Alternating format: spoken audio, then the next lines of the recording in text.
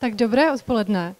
Doufám, že mě, že mě slyšíte, že nás všechny vidíte. Já vás bohužel nevidím, ani naše panelisté, takže se nedivte, pokud nebudeme moc dobře reagovat, protože vlastně tady na nás svítí světlo a my moc toho nevidíme ven. Moje jméno je Kateřina Merklová a pracuji v agentuře, která se zabývá výzkumem veřejného mínění a vedu tam tedy výzkumy v oblasti politiky nebo právě veřejné sféry. A dneska jsem dostala za úkol moderovat vlastně tenhle ten panel, který se bude týkat nedostupného bydlení, které problému, který dopadá zejména na mladé rodiny, ale nejenom na mladé rodiny. Určitě o tom budeme mluvit.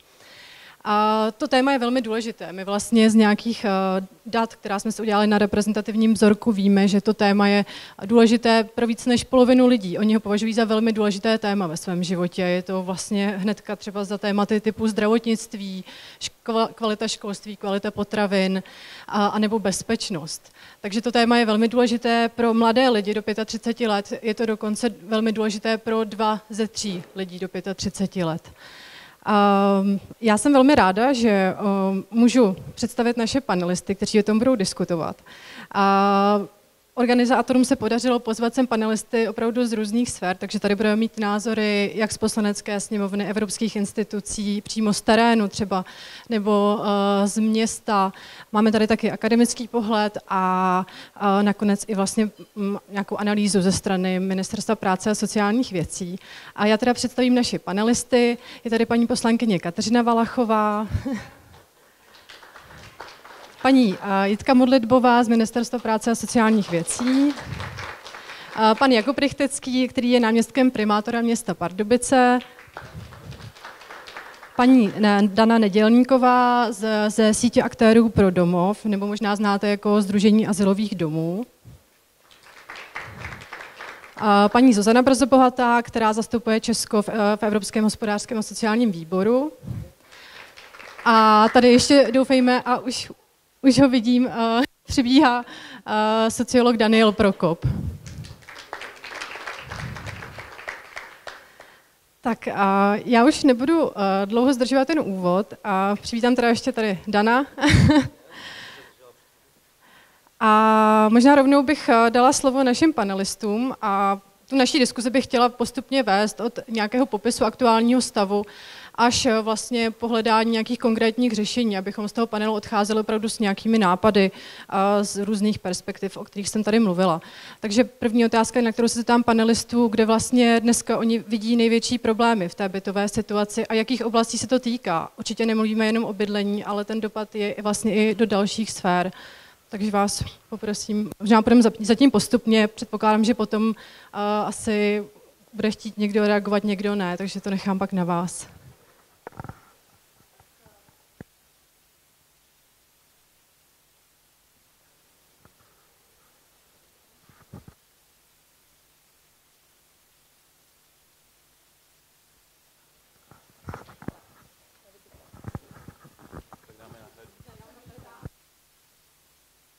To chtěla ukřičet, ale takhle to bude určitě příjemnější.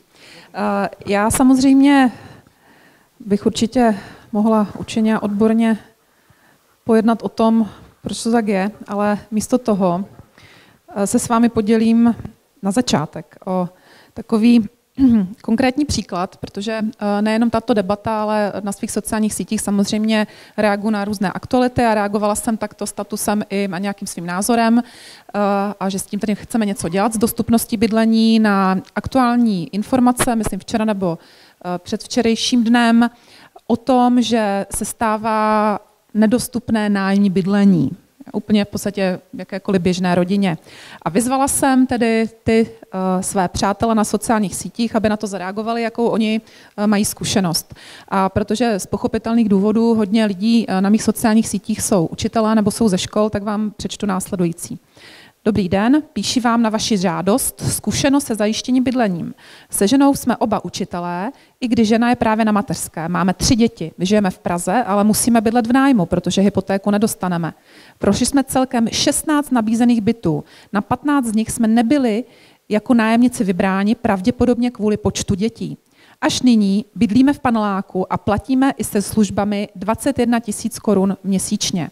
S čistým příjmem rodiny kolem 37 tisíc. Je to dost na hraně. Pokud bychom měli hypotéku, platili bychom méně ale nedostaneme ji, protože dle banky na ní finančně nemáme. Druhá strana mince. Kamarád se svou ženou na mateřské je také učitel, ale bydlí v menším městě na Vysočině. Společný příjem mají stejný jako my a nebyl pro ně problém sehnat nájemní byt větší než máme by za 13 tisíc měsíčně. Tolik bydlení v Praze.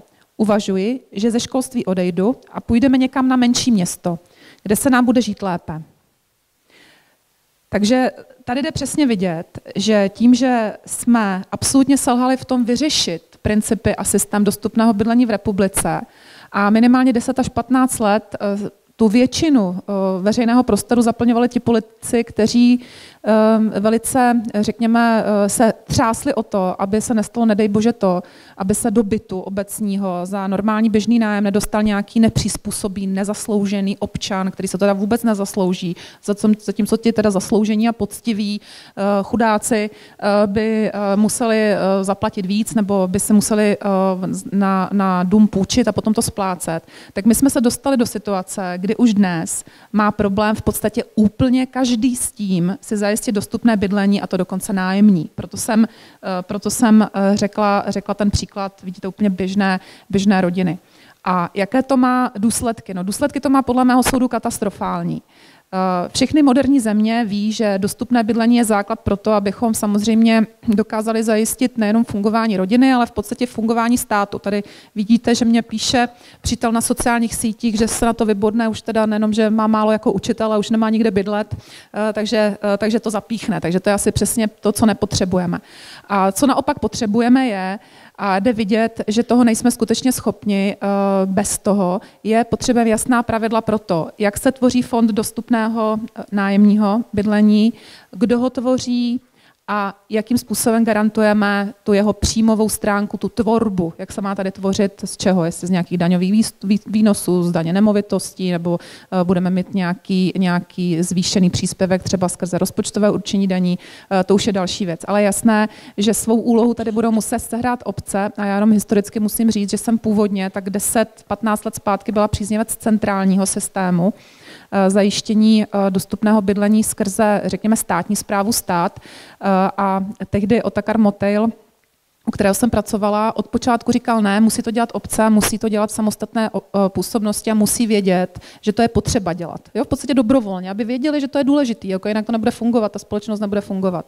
A já musím říct, že teď jsem příznivec toho, co tady doktor Motil, asi zřejmě jako moudřejší a zkušenější člověk prohlédl tedy dříve než já. A byla bych ráda, kdyby ta jasná pravidla pro tvorbu eh, bytového fondu a zejména obecního bytového fondu skutečně jsme měli v zákoně a kdyby sami obce eh, věděli, že tyto pravidla jsou důležitá především, především pro ně. Dobré je, že nyní už se netřeseme o to, aby tady někdo v bytě nebydlel nepřizpůsobivý, ale už víme, je to zvláštní metoda teda, že je to problém náš všech. Takže bych byla mírně optimistická z hlediska aktivity obcí to řešit. Já moc děkuji paní poslankyni eh, za tato slova. Velmi s nimi souhlasím, zejména co se týká eh, toho systémového řešení, protože to já si myslím, že je zásadní problém, že prostě není nastavený jednotný systém, který by jasně určoval pravidla nejenom tedy výstavby a financování a pořizování toho bydlení a těch bytů jako takových, to je samozřejmě velmi důležitá a podstatná část, ale ruku v ruce eh, s tím musí jít podpora těm lidem, minimálně části těch lidí, kteří v těchto sociálních či dostupných bytech, chcete-li, budou žít.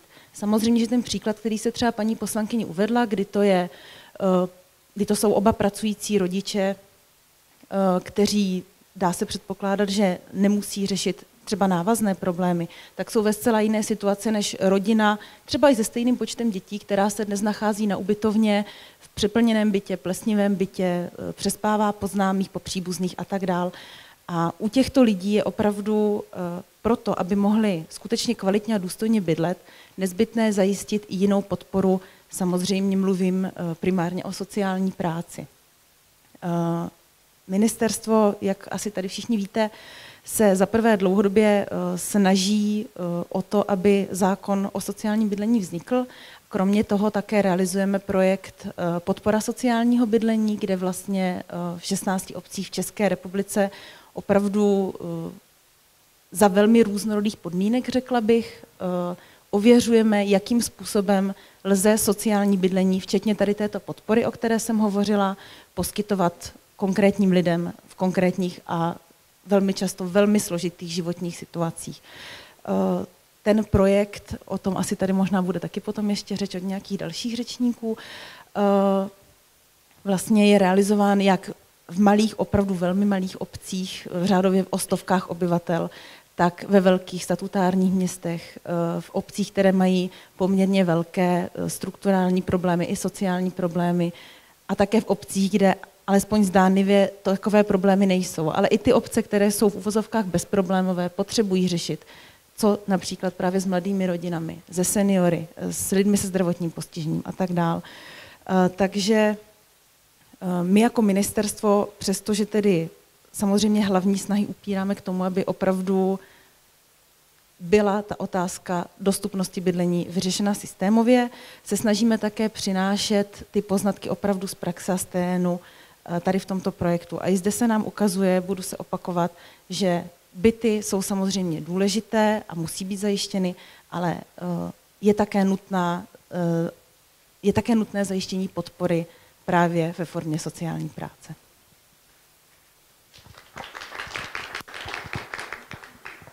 Já děkuji za oslý můstek, protože my jsme jedno z těch 16 měst, které jsou zapojeni v pilotním projektu Ministerstva práce a sociálních věcí na ověřování koncepce dostupného bydlení v České republice. Eh, ona ta problematika eh, je poměrně složitější v tom, že víte, že v tom roce 2011 a plně v roce 2013, kdy došlo k deregulaci nájemného v České republice, tak eh, samozřejmě vedle toho docházelo k privatizaci bytových fondů eh, v jednotlivých městech a ten systém dneska v České republice je velmi různorodý právě v tom, že tu máme města, jako jsou Teplice, kde vlastně byl rozprodán celý bytový fond do posledního bytu, pak jsou tady města a obce, které si nějaký bytový fond ponechali, ale v řadě případů ten bytový fond je zanedbaný, protože prostě ty výnosy z nájmu Eh, se prostě nevraceli do toho systému tak, jak by bylo potřeba, tak aby ten majetek nezastarával, ale obnovoval se. Eh, další problém, který je také ve vazbě na velikosti jednotlivých měst a obcí, protože je jasné, že ty malé obce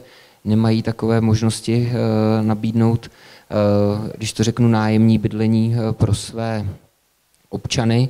A tím velkým to zase dělá problém v tom, že Eh, celá ta infrastruktura, která pak jde na jejich bedra, co se týče vzdělávání, dopravy, kroužků, eh, sportovních aktivit, eh, dostupnosti kultury a tak dále, tak my třeba jako Pardubice jsme zjistili, že jsme se začali potýkat s tím, že se nám vlastně vylidňuje mladá generace z Pardubic, stěhuje se do těch malých satelitů, do okolních obcí, protože tam ty starostové malých obcí samozřejmě jsou schopni nabídnout úplně jiné podmínky pro stavební parcely.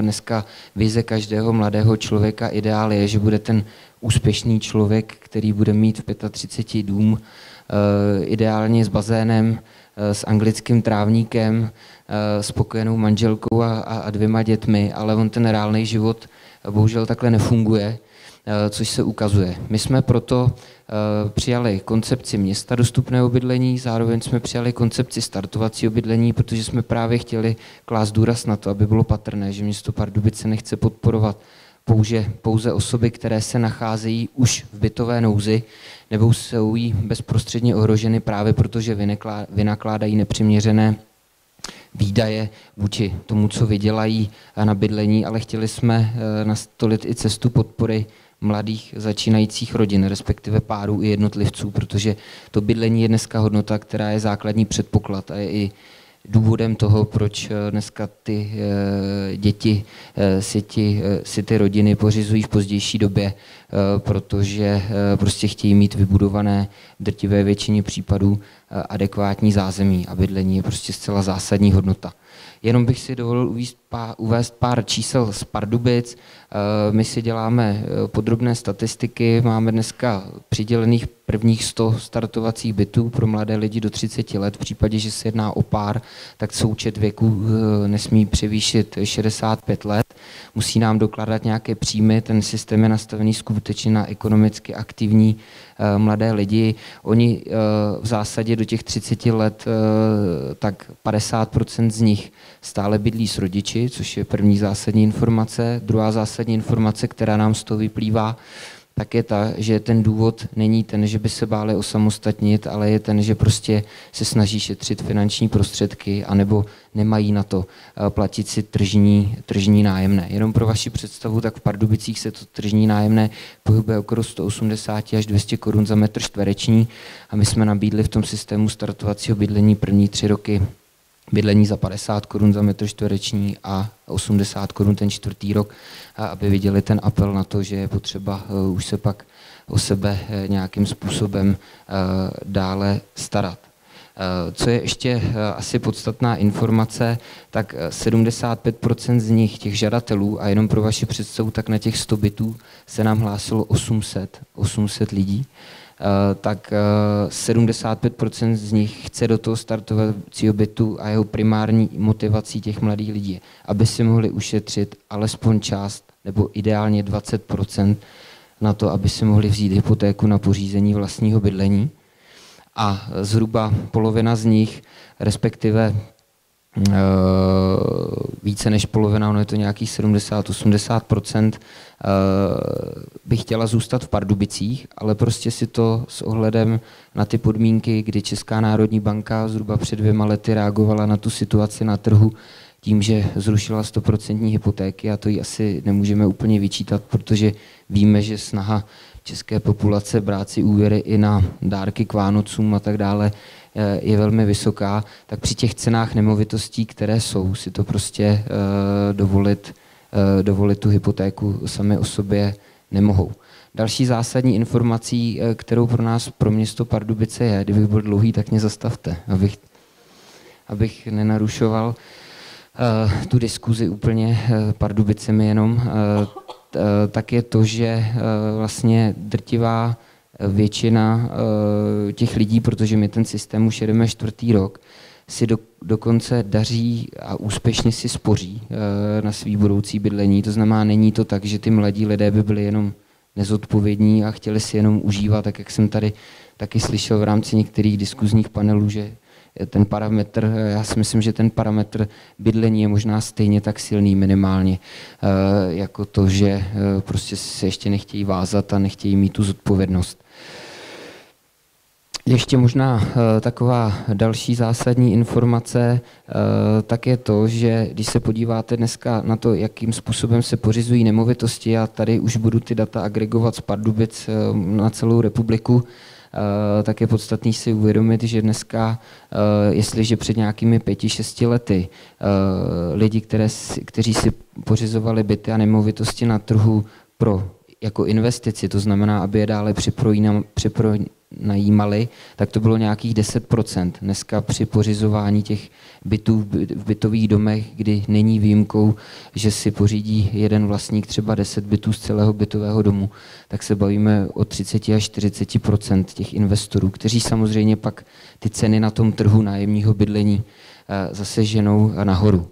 Eh, tolik za mě na úvod jenom pár dat eh, a pokud bych měl říct, v čem já vnímám Eh, největší eh, problém a úskalí, tak je to mezirezortní nespolupráce mezi Ministerstvem práce a sociálních věcí a Ministerstvem pro místní rozvoj, protože víte, že Ministerstvo práce a sociálních věcí připravilo koncepci státu dostupného bydlení, pak připravovalo návrh zákona o sociálním bydlení, MMR, které má pod sebou státní fond rozvoje bydlení, kde je dneska například schválený program výstavba, ze, který ale, ze kterého třeba i díky jedné nesmyslné podmínce v paragrafu 8 tohoto nařízení třeba Pardubice nemohou čerpat dotace eh, na bytový fond, eh, tak eh, tam ta rezortní spolupráce byla jasná, eskalo to a nebyla prostě politická dohoda na tom, aby se ten zákon dotáhl do zdárného konce, byť tam byly některé drobnosti, ke kterým i my za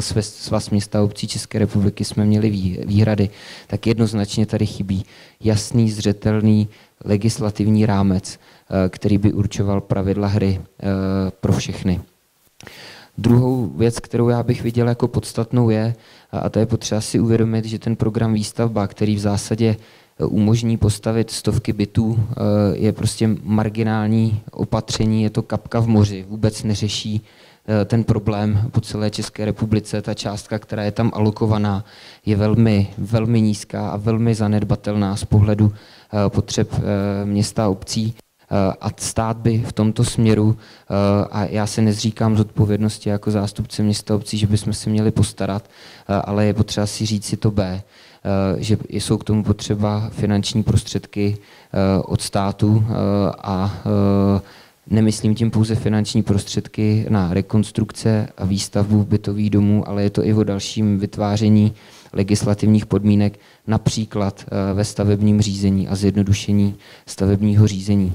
Protože kdo dneska dělá na městě a obcí, tak ví, že pokud začíná projekt od nuly, eh, tak aby došel do reální realizace, eh, tak má před sebou 3-4 roky práce, protože musí začít u studie, pak musí mít Eh, návrh stavby, od návrhu stavby jde k projektové dokumentaci, ke stavebnímu povolení, pak prováděcí dokumentaci, výběrovému řízení a tak dále. Eh, k tomu potřebuje tisíce vyjádření dočených orgánů, eh, takže je to velmi, velmi složitý pro ty obce. A poslední téma, který bych chtěl zmínit, a to už je zase na straně města obcí, tak města a obce při prodeji pozemků, při tvorbě územních plánů by měli systematicky uvažovat, eh, neměli by pouze eh, spatřovat v těch eh, prodejích, kdy většinou ty prodeje probíhají samozřejmě veřejnou zakázkou, nějakou dražbou, to, kdo dá třeba největší nabídku za to dané území pro ty developery, tak i přívětivější legislativní prostředí pro to, aby v rámci těchto zakázek ty města a obce měly ještě větší prostor, proto dávat tam více kritérií nejenom co se týče finanční výhodnosti, ale právě ve vazbě na bydlení prostor pro výstavbu družstevního bydlení, nájemního bydlení.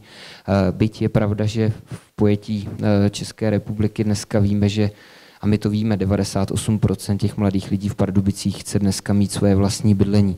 Postkomunistické země je to pro nás typické, že jsme zdeformovaní tím komunismem, že všichni chceme bydlet ve vlastním, ale například Německo, Rakousko a další země, tam ten poměr je obrácený, tam ten poměr je nějakých 60-40 nebo 70-30 nájemní bydlení, družstevní bydlení proti osobnímu vlastnictví. Takže odvaha obcí, eh, nedívat se jenom na cenu pozemku, ale umět nacházet pravidla pro to, aby eh, vznikaly eh, nájemní, cenově nájemní, dostupný bytový domy a bydlení, které se budou moc eh, lidi dovolit. Dobrý den a děkujeme za pozvání. Eh, naše organizace je tou, která se zabývá spíše těmi lidmi, kteří už se ocitli v situaci vyloučení z bydlení, takže já se s dovolením budu na tu problematiku dívat trošku z této perspektivy, z perspektivy těch vlastně nejzranitelnějších skupin. Eh, byť i pro ně jsou důležité ta, ta univerzální opatření, o kterých mluvila třeba paní poslankyně Valachová, to znamená um, nějak dostupné um, nájemní bydlení nebo obecně bydlení, které je obklopeno nějakými službami a samozřejmě, když jde o rodiny s dětmi, tak je potřeba více služeb, kterými by byly obklopeny, než uh, kdyby to byli jednotlivci. Uh, to jsou ty univerzální opatření pro bydlení, které se vztahují na populaci jako celek a nejsou specifická ve vztahu k nějakým rizikům. Potom je tady balík opatření, které je potřeba um, nějak naplňovat, uh, aby byla ušetřena jednotlivá rizika, ať jsou to opatření, která se týkají třeba prevence vystěhování, mediace nebo různé smírčí uh, procesy, uh, opatření, která se týkají um, citlivých skupin, jako jsou lidé závislí na návykových látkách nebo s duševními poruchami, což je mezinárodně považováno za kategorii eh, jako téměř nejvíc ohroženou ztrátou bydlení. Eh, a pak je tu ještě jedno téma nebo jeden takový eh, sektor prevence, o kterém se příliš nemluví. Kanadská observatoř pro studium bezdomovství si ji nazývá jako strukturální prevence a vlastně je to řešení těch překážek, které staví ten systém sám těm lidem v tom, aby mohli se zařazovat do bydlení bezpečně, naplňovat svoje povinnosti, které jsou spojeny s bydlením. A to jsou překážky um, kdybychom si představili člověka, který je um, otcem od rodiny, je propuštěný z výkonu trestu, je zadlužený, Eh, tak eh, aby ho vzali někam do práce. Teď už je to lepší s tou vysokou mírou eh, zaměstnanosti, ale často potřebuje čistý trestní rejstřík. Mnohé městské byty mají ta kritéria nastavena, takže potřebuje čistý trestní rejstřík, potřebuje mít zaměstnání, to jsou všechno body, které, které ho vlastně do toho bydlení dostanou. Takže ten systém sám vytváří nějaké překážky a na jednu stranu očekává od těch lidí, o kterých pak mluví jako o nepřizpůsobivých, Eh, že tady přijdou z toho výkonu trestu, postaví se na vlastní nohy a začnou plnit ty povinnosti, začnou se starat o rodinu, začnou splácet dluhy a svým způsobem jim blokuje ten přístup k tomu, aby se na ty nohy postavili, aby si našli práci, protože k tomu většinou potřebujete někde bydlet a vlastně jim zastaví přístup třeba k městským bytům a řada těch městských úřadů má nastaveny ty podmínky pro přidělování bytů i mnohem vysokoprahový, než je výpis trestního rejstříku. Eh, mnozí samoživitelé jsou, klidně bych řekla, diskriminováni těmito kritérii v tom, aby se k tomu bydlení dostali, ale zároveň právě u nich je to očekávání, že oni se budou už teď chovat tak, jak ta společnost očekává a pak je jako strašně snadné nasazovat na ně ten koncept zavinění, a ještě k tomu tedy zneužívat třeba sociální pracovníky, aby oni byli ti, kdo vlastně hlídají a vymáhají plnění těch povinností, což třeba my chápeme jako zneužití sociální práce.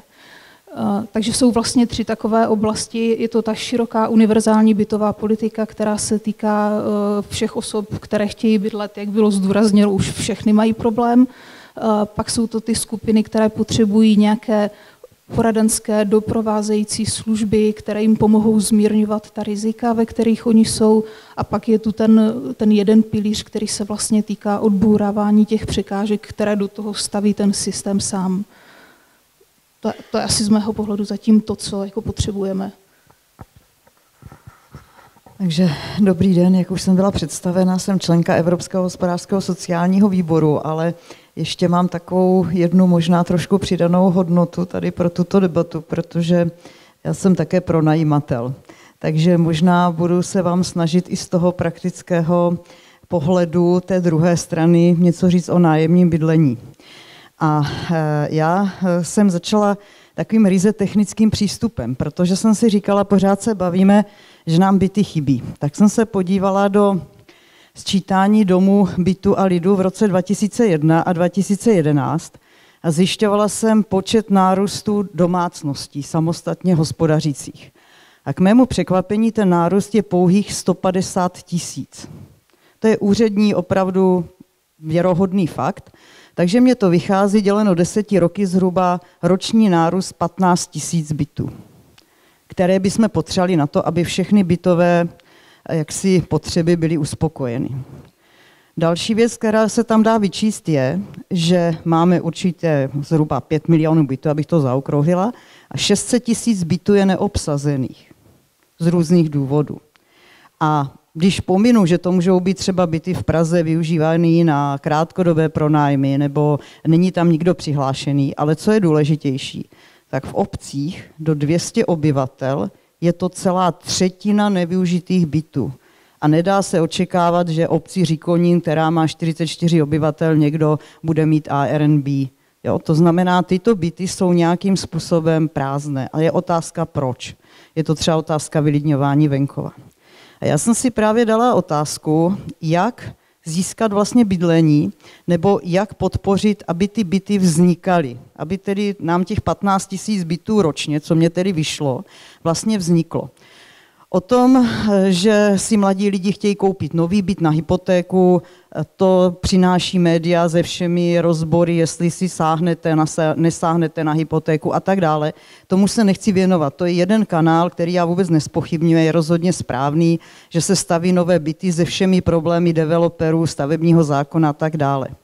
Ale vůbec se nebavíme o družstevní výstavbě která by nějakým způsobem, znáte mnoho družstevních výstaveb za minulý nějaké období?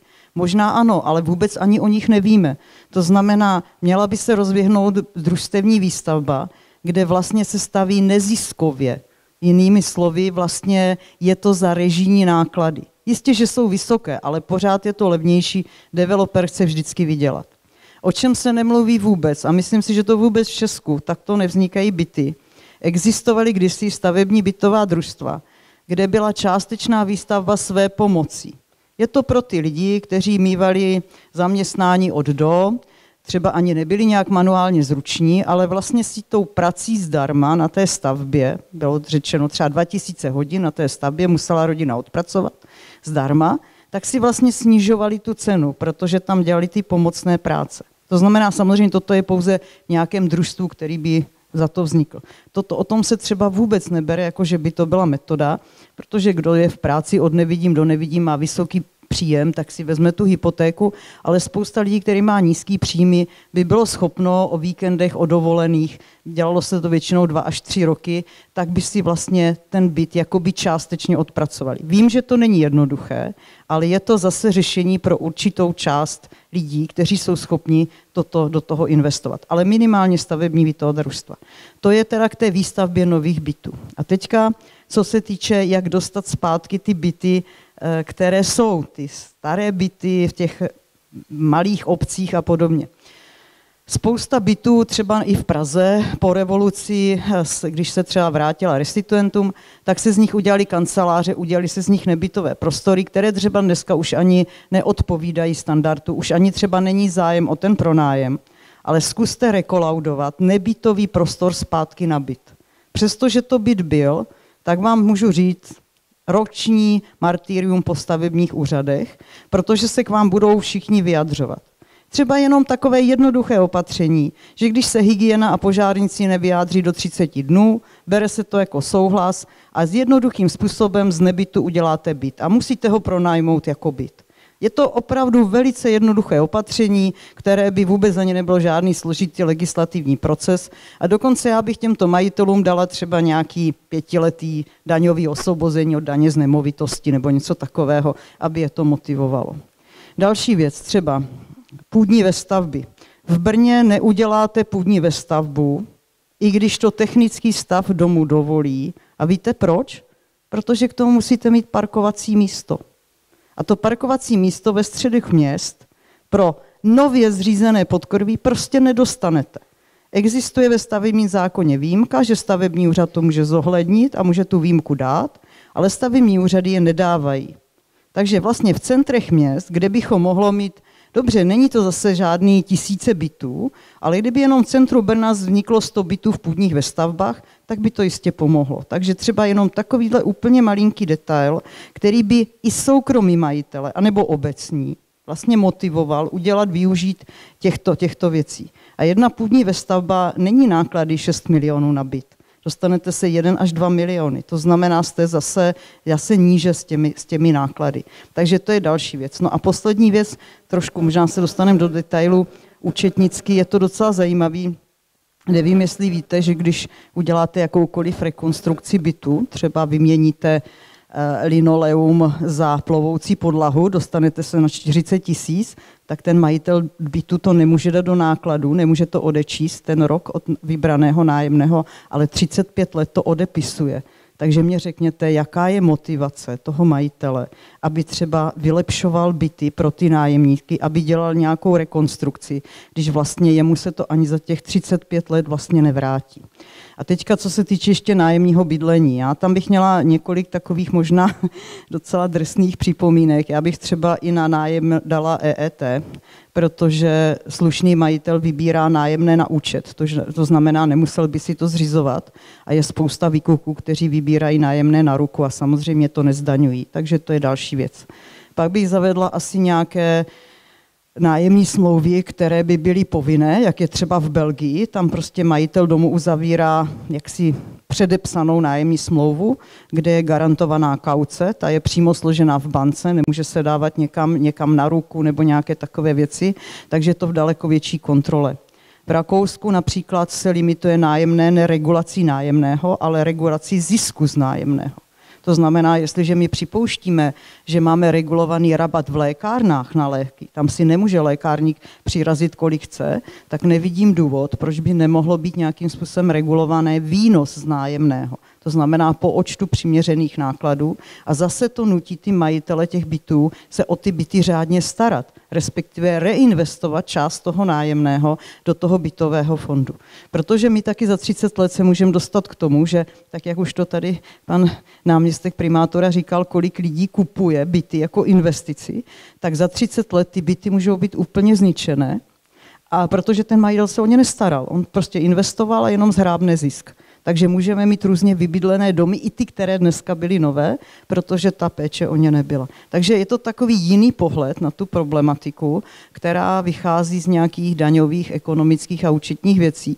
Takže když tak ráda v tomto směru třeba můžu jít do větších detailů. Tak já navážu na předřečníky, protože uh, vy jste řekl spoustu zajímavých konkrétních nápadů a uh, souhlasím s uh, věcmi, které říkali předřečníci, ale shrnul bych to, uh, podle mě si budeme muset zvyknout, že to nájemní bydlení se stane nějakým standardem a v Česku není, v Česku je špatně vnímaný, protože jsou asociovaný s tím krátkodobým nájemním bydlením. A v tom Německu, o kterém jste mluvil vy, a podobně v Rakousku nebo v dalších zemích, tam jsou to dlouhodobý nájemní bydlení. A co teda udělat, aby bylo přístupnější, tak podle mě jsou tam tržní řešení. Jednak my ten trh ohybáme prostě podporou těch hypoték, eh, takže jako nabízíme střední třídě benefit eh, k hypotéce daňovou slevou, která, který se podle mě stává jako neudržitelným tím spíš, že ta eh, nižší střední třída k té hypotéce už nemá ani přístup, jako, díky regulaci ČNB, která je podle mě správná, ale dál narušuje legitimitu eh, těch eh, odpisů daňových na úroky z hypoték. Prostě.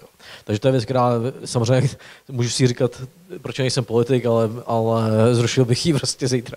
Eh, druhá věc, druhá věc je, že my prostě hodně daníme mzdy a příjmy a hodně daníme tu levnou práci. A ty lidi, kteří mají problémy si, jako ten učitel, o kterém jste mluvil, tak mimo jiný má teda jakoby výrazně zdaněnou mzdu a velký odvody. Eh, v tom jsme jako nadprůměrný, v tom dokážeme zatížit eh, levnou práci odvodama a, a daněma a málo daníme majetek. Jo. Tak, eh, podle mě se nevyhneme do budoucna nějakému přestrukturování těch daní, aby se vyplatilo víc pracovat. Měli jste menší odvody a zároveň prostě byla motivace nedržet, nedržet prázdně movitosti. A to se se kolem toho rozvinulo, že to je komunismus a podobně, to je prostě jenom daňová optimalizace, to byste mohli říkat ve každý daně, že to je komunismus. Ve Francii uh, ta daň na prázdnění nemovitosti uh, uvolnila podle analýz jenom akademických 13% prázdných nemovitostí, uh, což jakoby není samozřejmě šestpásný, ale jsou to prostě tisíce nemovitostí třeba v Praze, který by s tím, tisíce bytů, který byste uvolnili.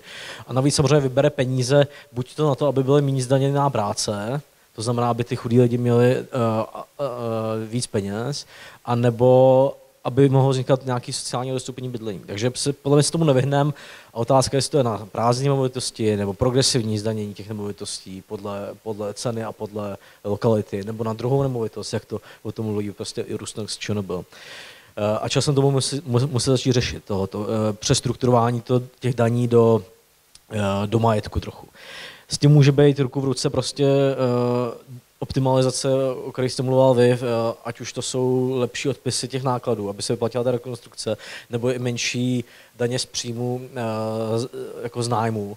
Třeba ve Švýcarsku v některých kantonech se platí daň z příjmu z, z nájmu, ať už ho pronajímáte nebo ne, což je vlastně taková jako nepřímá daň z nemovitosti, jako bez prázdní nemovitosti. Uh, takže podpora toho, aby se pronajímaly ty byty, eh, aby se rekonstruovaly a aby, aby eh, nebyly drženy prázdné movitosti a zároveň eh, podle mě redukce podpory těch hypoték státní. Druhá věc, určitě se ne, jako určitě součástí toho řešení musí být zprůchodnění toho stavebního řízení, prostě aby se stav, stavilo jednodušeji a víc. A potom je třetí pilíř, to je jako důležitá věc, která, která je asi dlouhodobě zásadní a bez té bez to nepůjde. A potom je věc toho sociálního dostupného bydlení. A tam je, myslím, hlavní otázka, pro jak širokou vrstvu obyvatel by měly, a jak centrálně nastavený by měly být tyhle ty programy. Já osobně si spíš myslím, že by měl být uh, relativně úzký program sociálního bydlení, který je ale povinný. Uh, a týká se opravdu těch jakoby, uh, skupin v bytové nouzi, o kterých jste mluvila vy, a potom podpora toho, aby obce vytvářely dostupné bydlení, která ale není jakoby tak tvrdá paternalistická. Protože myslím si, že udělat sociální bydlení pro 10% obyvatel a zároveň tam jako vynucovat parametricky ty opatření, je dost náročný a může tam vzniknout, jakoby, že ty kritici možná mají pravdu, že tam můžou vznikat velké čekací doby a, a, a, a vlastně v tom bytovém fondu proto není prostor a podobně v řadě obcí. Takže myslím si, že by bylo možná lepší uh, úzký a jako zaměřený a vynucovaný uh, centrální sociální bydlení v kombinaci s podporou toho dostupného, který byl ale víc uh, v kompetenci obcí. Jeden problém, který vidím já, je, že v tom našem systému náklady na doplatky a příspěvky na bydlení nese stát a uh, náklady na vybudování toho obecního bydlení jsou ty obce, takže nevím, jestli oni jsou všechny dostatečně motivovaní na to, aby snižovali ty náklady, které vznikají z toho, že tu situaci třeba některý neřeší. Jo. A tam možná, kdy, kdyby se jim prostě uh, přidali nějaký náklady z rozpočtového řešení daní a převedli se na ně tyhle náklady na to neřešení, tak by, tak by ta aktivita zrostla u některých obcí. Takže to jsou takové jako eh, věci, které kombinují to, co tady říkali předřečníci. No. A každopádně uh, u těch akutních věcí u rodin s dětma je to, to nestabilní bydlení a nebytový extrémně poškozující pro ty děti a zaplatíme to x, x násobně v budoucnosti a tam je to sociální bydlení potřeba. A my ještě jednu věc jsem nezmínil, a to myslím, že neříkal nikdo z mých předřečníků, podle mě je škoda, že nevyužíváme eh, mnohem víc ty eh, dávky v okamžitý mimořádné pomoci na asistenci eh, v tom komerčním nájmu, protože ty lidi, kteří mají nízký příjmy, nejsou omezený jenom tím, že nemají těch 15 000 měsíčně třeba, ale tím, že ta kauce je někdy jeden měsíční nájem, někdy to platí té realice, nebo ten pronajímatel chce víc těch měsíčních nájmů. Takže tam je, jakoby, eh, tam je velká bariéra na tom vstupu. A pro některé uh, typy domácností, jako jsou samoživitelky a podobně, je už ta bariéra na tom vstupu. A tam, když jim pomůžete, tak samozřejmě ušetříte jednou splacenou kaucí uh, to ten azylář stojí prostě za půl měsíce víc, než, než ta jedna pomoc tou kaucí. Jo. Takže tam myslím, že by ten stát měl být trošku, trošku flexibilnější a nenechat prostě uh, dokazovat uh, tak dlouhou dobu, že jsem v hmotné nouzi, že si, tu, že si tu dávku zasloužím. Možná ani, ani nepodměťovat tou hmotnou nouzí a být v tom trošku, myslet víc dopředu a preventivně těch dávkách. Děkuju. A navážu na tohle téma. A jak se na to díváte ostatní? A jak široká skupina by podle vás eh, měla dosáhnout na sociální bydlení? A zajímaly by mě dvě varianty. Eh, nějaká ideální varianta z hlediska toho systému za vás, třeba i nějaká dlouhodobě dosažitelná, na kterou můžeme myslet, a potom nějaký realistický odhad, co vlastně podle vás průchozí možnost, jak široká skupina by měla dosáhnout na sociální bydlení.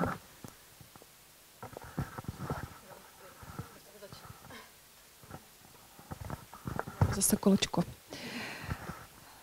Takhle, já, se, já souhlasím eh, s Danielem Prokopem v tom, že zákon musí garantovat vlastně dva pilíře dostupného bydlení, z nich jedno je dostupné v tom smyslu, jak, jak jsem vlastně já začala, směrem k rodinám, směrem k seniorům, řekněme, směrem k lidem, eh, kteří mají nějaký pravidelný běžný příjem a kteří eh, vlastně potřebují z hlediska toho, že jsme skutečně definitivně pokřivili trh, to, to je jediné, co se nám podařilo z hlediska posledních 15 nebo 20 let, tak my jim potřebujeme zdostupnit přiměřené, dostupné nájemní nebo vlastnické bydlení. To je ten pilíř dostupného bydlení. Tam vlastně ty opatření potřebujeme nejvíc na té straně vytvoření toho bytového fondu.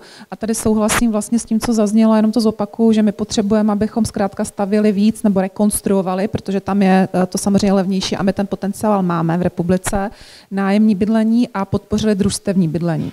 Družstevní bydlení potřebujeme eh, zbavit takového toho komunistického patosu, protože asi, když byste řekli mladým lidem, teď už možná možná ne, teď už jim teče do bod, tak to by to možná vzali i jako v úvozovkách s komunistickou nálepkou, jo? ale před deseti lety, kdybyste jim řekli, nabízíme stát se vám, druž, abyste se stali družstevníky, tak by se z toho asi opotili, jako co jsme zase vymysleli uh, my politici, ale každopádně teď to družstevní bydlení uh, určitě by mohlo být řešením a tam také dokážeme vlastně pomoci, jak rychleji reagovat na tu, řekněme, výstavu nebo i rekonstrukční výstavu. To se taky myslím, že by bylo důležité, aby družstva mohli nejenom stavět, ale i rekonstruovat. To je velmi důležité z hlediska eh, vlastně typu toho našeho bytového fondu. Tak to je ten jeden pilíř. Eh, tam rozhodně musí mít velkou roli obce a nemůže se jí, nemohou se jí zdát. A musím říct, že mě velmi mrzí, že i 30 let eh, vlastně po revoluci u nás některé obce, tady samozřejmě musím pochválit Pardubice, ale některé obce mají problém s tím, že nejsou nějakou ekonomickou jednotkou, jo, ale že jsou především společenstvím občanů, lidí, obyvatel. A tak by se také měly získat takovéto sociální funkce k sobě, eh, k sobě chovat. A také mě to jako právníka samozřejmě zajímá z toho pohledu, že dnes, když nemáme ten systém dostupného bydlení a nemáme jasně stanoveno, co ta obec opravdu musí z hlediska té péče eh, o ty své občany, ať jsou jacíkoliv, ať mají jakékoliv starosti nebo problémy s dostupným bydlením, tak eh, ona, oni na to samozřejmě paradoxně zase doplácí ty obce, které k tomu takto přistupují, protože logicky lidi se potom stahují tam, kde ta obec, starosta je osvícený, investují třeba do toho, aby tam byly různé možnosti eh, zajištění bydlení, no a potom na tom není nic spravedlivého, když řekněme i lidé, kteří třeba potřebují zajistit bydlení se sociální prací, jak tady mluvili kolegyně, opravdu to potřebují zajistit kompetencí, takže tito lidé teda vlastně se hromadně vlastně zase jakoby přesouvají tam, kde řekněme ta obec osvícená, protože potom, řekněme, eh, není přirozená struktura těch lidí, protože zatímco každá obec by se měla být schopna postarat o někoho, kdo má nějakou tragickou životní událost nebo něco nezvládl, potřebuje pomoc v nějakých kompetencích, zkrátka nějaký přiměřený počet lidí zvládne každá obec, tak ne, žádná obec nezvládne, pokud eh, takovýto lidé eh, díky třeba spekulantům zbyty a sestěhovávání takovýchto lidí najednou tvoří takový obyvatele většinu v té obci. To žádná obec samozřejmě nezvládne. Takže myslím si, že ten systém je velmi důležitý i proto, aby vlastně obce vzájemně k sobě přistupovaly spravedlivě, aby to jedna nemohla hodit na druhou tu péči o své občany, jenom se spoléhat, že nějaký spekulant teď lidi vymigruje uh, někam jinam na druhý konec republiky. To je ten jeden pilíř. Z mého pohledu je jednodušší. Je zajistka toho, že si myslím, že politicky je uh, napříč politickým spektrem zhoda na tom, že tohle vyřešit musíme, díky tomu, co jsem četla, že zkrátka ten problém už dneska má každý. Takže tam se mi zdá, že ty politici se dostali do situace, kdy už neuhnou. Druhá věc je, eh, řekněme, sociální bydlení nebo existenční bydlení, sociální bydlení eh, vlastně pro lidi, kteří v tuto chvíli se nachází eh, v podstandardním bydlení, zejména na ubytovnách a necháváme je tam teda sdírat dlouhodobě obchodníky s chudobou, anebo, to je ta nejextrémnější situace, kde se jedná o lidi bezdomova, kteří z nějakých důvodů vyloženě žijí v absolutně podstandardním bydlení, tady mají různé příbytky, zkrátka nenachází se v ničem, co by se byť v nejlepším slova smyslu dalo, eh, dalo označit za nějaký obydlí na tož domov. Eh, tady je důležité říct, že každý má právo na bydlení, to prostě tam v ústavě a v listině základních práv a svobod jasně máme, to, že to nedodržeme, druhá věc. A je potřeba říct, že tady je zcela zjevné, že ty jasná pravidla, tak jak řekl Daniel, musí být v zákoně. Eh, tam upřímně řečeno ty obce nebudou, většina z nich, tak abych byla spravedlivá, většina z nich se nebude eh, o tyto občany, nebude jim pomáhat zkrátka, nebude se o ně starat, nebude jim pomáhat dobrovolně. Eh, dobrovolnost z hlediska obcí v tomto smyslu nikam nevede. A je samozřejmě důležité obcím dát příležitost, myslím, investiční, finanční, aby to zvládli, i z hlediska třeba systému sociální práce, nemůžou na to zase ty obce být sami. Ale na druhou stranu ta povinnost, že to tak je, zkrátka, a žádná obec předtím neuteče a musí se snažit vybudovat se ten systém na svém území taky, ne přestěhovat dané obyvatele, tak to skutečně eh, v tom zákoně musíme mít absolutně natvrdo, protože jinak to ty obce dělat nebudou, máme to vyzkoušeno. Jo, myslím si, že si to zkoušíme už 20 let a myslím si, že to je vyzkoušená, zkrátka obce to dobrovolně dělat nebudou. Do určité míry si myslím, že by stát, kdyby to jasně stanovil jako povinnost ze zákona, by těm obcím i pomohl, protože eh, chápu z politického hlediska, že pokud je někdo na radnici starosta, teď má vysvětlit těm občanům, kteří starosti problémy nemají, eh, že o tyhle lidi je potřeba se postarat, tak já jdu do toho a část rozpočtu do toho musím vrazit, že to může být pro něho buď to vůbec neřešitelný politický úkol, nebo možná poslední, který provede teda, jo, za 10 nebo 20 20 let ho budou možná velebit, ale do té doby samozřejmě bude politicky mrtvej. A to taky nechceme, aby moudří starostové se z nich stali politické mrtvoly. Takže myslím si, že stát by měl jako jasně říct, jaké ty pravidla jsou a zákonem je stanovit. No a co se týká té sociální práce, tak eh, tam jenom chci říct, že eh, jak to řekla kolegyně, eh, všechny ministerstva, kromě MPSV, mají vždycky tendence, a všichni teda bych řekla skoro politici napříč politickým spektrem, mají představu, že tu sociální práci jde nařídit jo, že ty, jako ty seš nějaký divný, tak dostaneš tady 10 hodin jako sociální práce. Problém je, že ministerstvo práce je v tomhle strašně nepochopeno, že ten zákon o sociálních službách a služby samotné, jejich principem a samozřejmě i principem jejich úspěšnosti je nějaká otázka vztahová dobrovolná. A tohle eh, si myslím, že se nám zatím nepodařilo ani v tom veřejném prostoru vlastně uh, vysvětlit. Že, nebo můžeme se možná jako lišky nebo chytré horákyně tvářit, že jo, že to teda nařídíme, ale samozřejmě to nesmysl. Jo. Jako aby to byla účinná sociální práce, tak musí být teda interaktivní a musí být takto, eh, takto sdílena. Na druhou stranu eh, mají pravdu ty obce, které zase kritizují stát za to, že my úplně jako hustou síť funkční sociální práce, sociálních pracovníků, nebo tedy terénních pracovníků, skutečně řekněme v první línii v terénu, eh, moc nemáme. Máme tady samozřejmě některá združení, která hrdin Vidíte, jak kolegyně už je unavená, odevzdaná, eh, k na mě kouká, jako, že jako zatím jako neumřeli, ještě žijí. Ale jako rozhodně se tomu nedá říct, nějaký systém, eh, ze kterého by i oni věděli, ano, jsme součástí nějakého systému, který ta společnost oceňuje, máme to těžký, ale víme, eh, že zítra vyjde slunce, 1. ledna přijde rozpočet, jo, tak to neví. Jo. Eh, dokonce musím říct, že eh, mě vždycky šokuje, když jsem třeba na nějaké debatě, debatě v případě asilových domů, tam se tady bavíme opravdu těch, o té extrémní chudobě nebo extrémní nedostupnosti bydlení, tak opravdu představa některých starostů, že když vznikne asilový dům nebo asilový dům rozšíří kapacitu, že to je ta příčina, proč nám vzniknou ti bezdomovci. Do té doby tam nikdo je tam neviděl, nebyli tam. Až ten asilový dům se zřídil, nebo tam bylo to pracoviště, oni se tam objevili, oni tam přišli, jo, vznikli, a tím pádem je potřeba samozřejmě vymít všechny azylové domy, protože nebudeme, pokud nebudeme mít azylové domy a azylová pracoviště, tak nebudeme mít bezdomovce, v klidu. Že? Jo, prostě to, to, tohle je zhruba jakoby ta zkratka. Uh, místo toho, aby to bylo naopak. A je pravda, že my vlastně neuvěřitelným způsobem plítváme v případě tady té cílové skupiny z hlediska sociálního bydlení s potenciálem lidí, kteří těmto lidem se snaží 15 let nějakým způsobem zprostředkovat druhou šanci. Protože samozřejmě uh, jejich účinnost té jejich práce je extrémně omezená tím, že až to teda jako toho člověka někam doberou, no tak ho narazí do zdi, protože primárně nemá kde bydlet. Jo, a bydlení je úplně jakoby základní věc, můžeme se přetahovat o to, jako jestli tam dáme víc pravidel nebo míň a jestli to budeme říkat zásluhové, startovací, prostupné, housing first. Z mého pohledu jsou to v podstatě jenom pojmy, ale podstatné aby vůbec nějaké takové bydlení bylo. A poslední věc, kterou chci říct, a která nevím přesně, kam bych to teda zařadila, protože podle mě v demokratickém státě to vlastně není možný, jo, ale vím, všichni víme, že to tak je. Víc a víc dětí, dětí žije v absolutně nevyhovujících bytových podmínkách. A nikdo s tím nic nedělá. Už jsme je teda přestali jako hromadně odebírat z rodiny a umístěvat v dětských domovech, protože na to by se přišlo, že jo, to je, jako to je jasný. Ale zároveň se teďka dostáváme, a já to od, pracovník sociálně právní ochrany dětí v terénu dost často slyším do druhé extrémní situace, že tím, abychom neodebrali dítě z rodiny, aby jsme teda nebyli zlí, to bychom byli chyceni za ruku, že eh, je strčíme do dětského domova, tak na druhé straně skutečně strpíme něco, co už zase potom z toho odborného hlediska uh, řada uh, těchto kolegyň říká tady pozor, my zase zabíráme oči před tím, v jakých podmínkách ty děti žijí a jaké to má na ně důsledky, jaký to má na ně vliv. A já říkám, že nevím, kam tuhle kategorii nedůstojných, nedostatečných bytových podmínek dětí, dětí, kam to mám vlastně zařadit, protože vlastně by to byla, měla být věc, o které bychom se vůbec neměli bavit. A musím říct, že mě Zuzka inspirovala z těch bytových výstavbových věcí, i teda eh, Jakub. A už se mě zrodil název zákona. Zákon o mimořádných opatřeních ve výstavbě se to bude jmenovat. Všechno zrychlí. Tak se těšíme.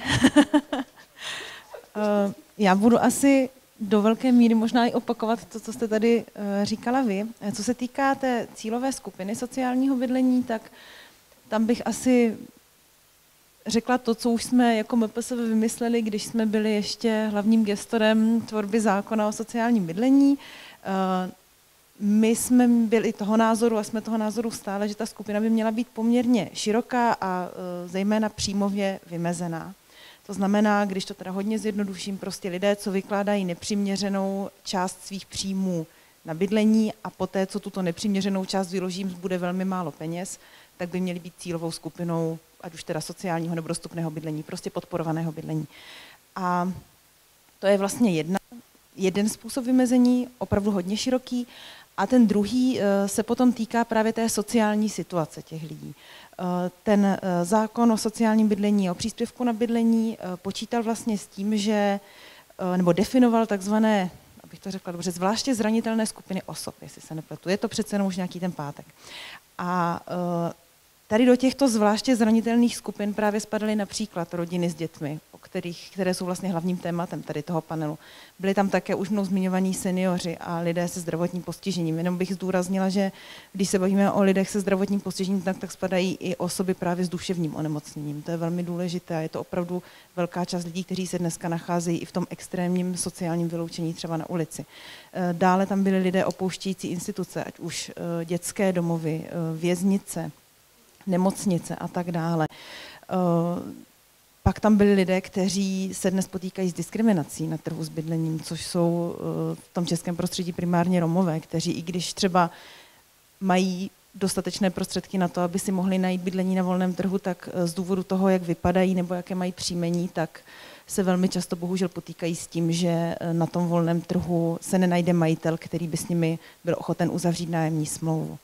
Takže tolik asi k té eh, cílové skupině, jak ji pojímá eh, ministerstvo práce.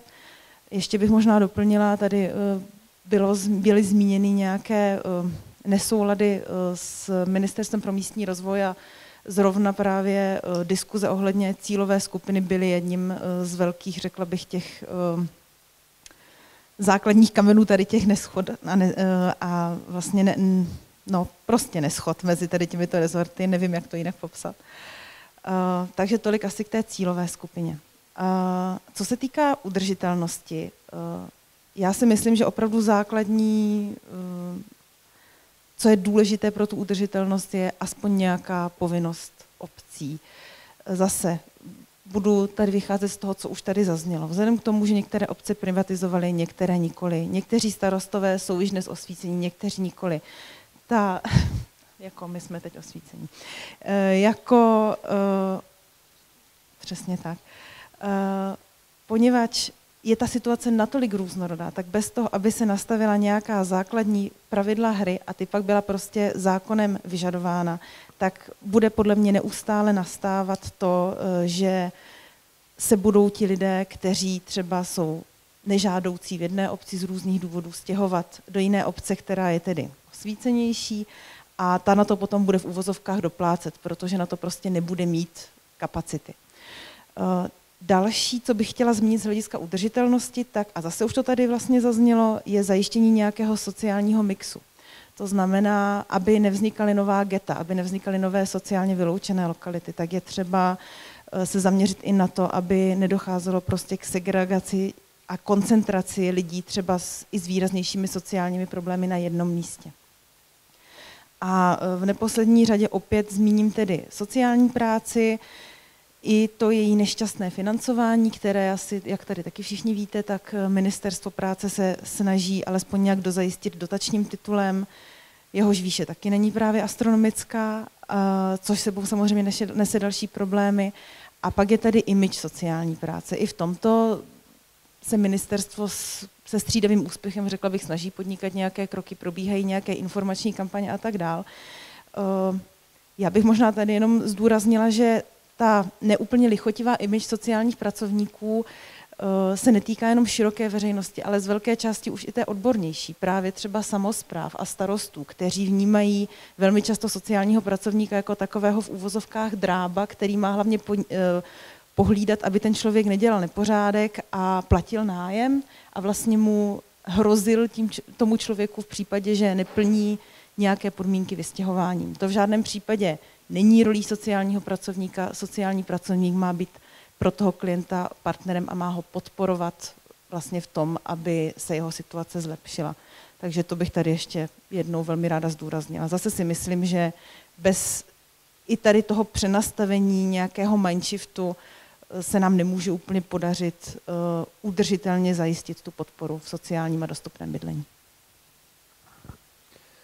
Já navážu. Uh, já bych chtěl upozornit, že taky si potřeba uvědomit, že nemáme jenom koncept housing first, ale máme taky koncept housing ready, protože je prostě zkrátka spousta lidí, který, a my máme tu zkušenost, že jsou lidi, kteří už žijou v té kultuře ubytovny třeba 9-10 let a to skutečně bych na dlouhou trať a ty lidi v některých případech prostě i přes veškerou sociální práci nejsou schopni dodržovat ty pravidla v tom nájemním bydlení, kde víte, že to velký riziko je třeba i, i pojem dobrého sousedství a je potřeba myslet i na ty stávající námě, nájemníky v těch bytových domech, kteří samozřejmě reagují na každou tu novou rodinu, která přijde a je velmi citlivé a obtížné vytvářet ty optimální mixy. My když jsme začínali vlastně s koncepcí dostupného bydlení v Pardubicích, eh, tak jsme si dali jeden úkol a to je prostupnost toho bydlení, nejenom směrem nahoru, to znamená z toho asilového domu Eh, přes sociální byt do dostupného bytu, protože my rozlišujeme skutečně ty kategorie krizového bydlení, sociálního bydlení, dostupného bydlení, pak máme vedle startovací bydlení, pak máme ještě bydlení pro mimořádné životní události a situace a samozřejmě i zaměstnanecké bydlení, protože e, není tajemstvím, že třeba v Helsinkách, což, které, které tvoří významnou část eh, aglomerace a pracovního trhu v, v, ve Finsku, že prostě dneska tam profese jako skutečně policisté, učitelé, zdravotníci prostě si nemůžou dovolit bydlení v Helsinkách. Právě proto oni pojali to dostupné bydlení jako širokou kategorii, eh, která dneska umožňuje těm lidem nejenom Eh, za prací do Helsinek dojíždět, ale i tam žít a bydlet a vytvářejí se tam ty optimální mixy vlastně v těch jednotlivých bytových domech. Dalším dobrým příkladem je třeba Vídeň, kde eh, to je asi ukázkový příklad toho, eh, jak to bydlení má fungovat a taky jedna nejmenovaná politická strana tam díky tomu 40 let vyhrává volby, protože jsou tam lidi, lidi prostě spokojení.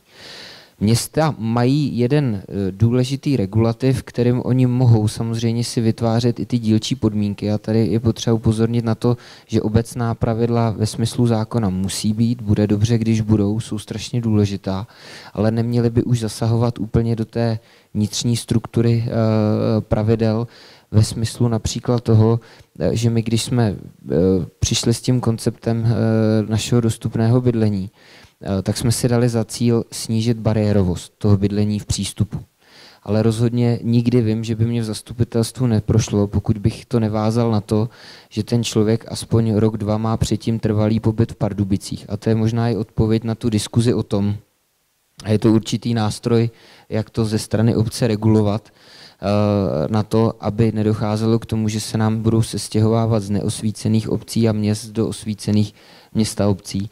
A tak to je v zásadě asi jediný parametr, který, který a vždycky ta rada, která přiděluje ty byty, pak může udělit výjimku, protože i my se potkáváme s případy, že člověk byl v nějaké situaci, odstěhoval se někam, původně žil v Pardubicích, po roce, po dvou se mu díky nějaké tragické události změnila situace a potřeba se vrátit do Pardubic. Takže i ty výjimky jsou samozřejmě možné.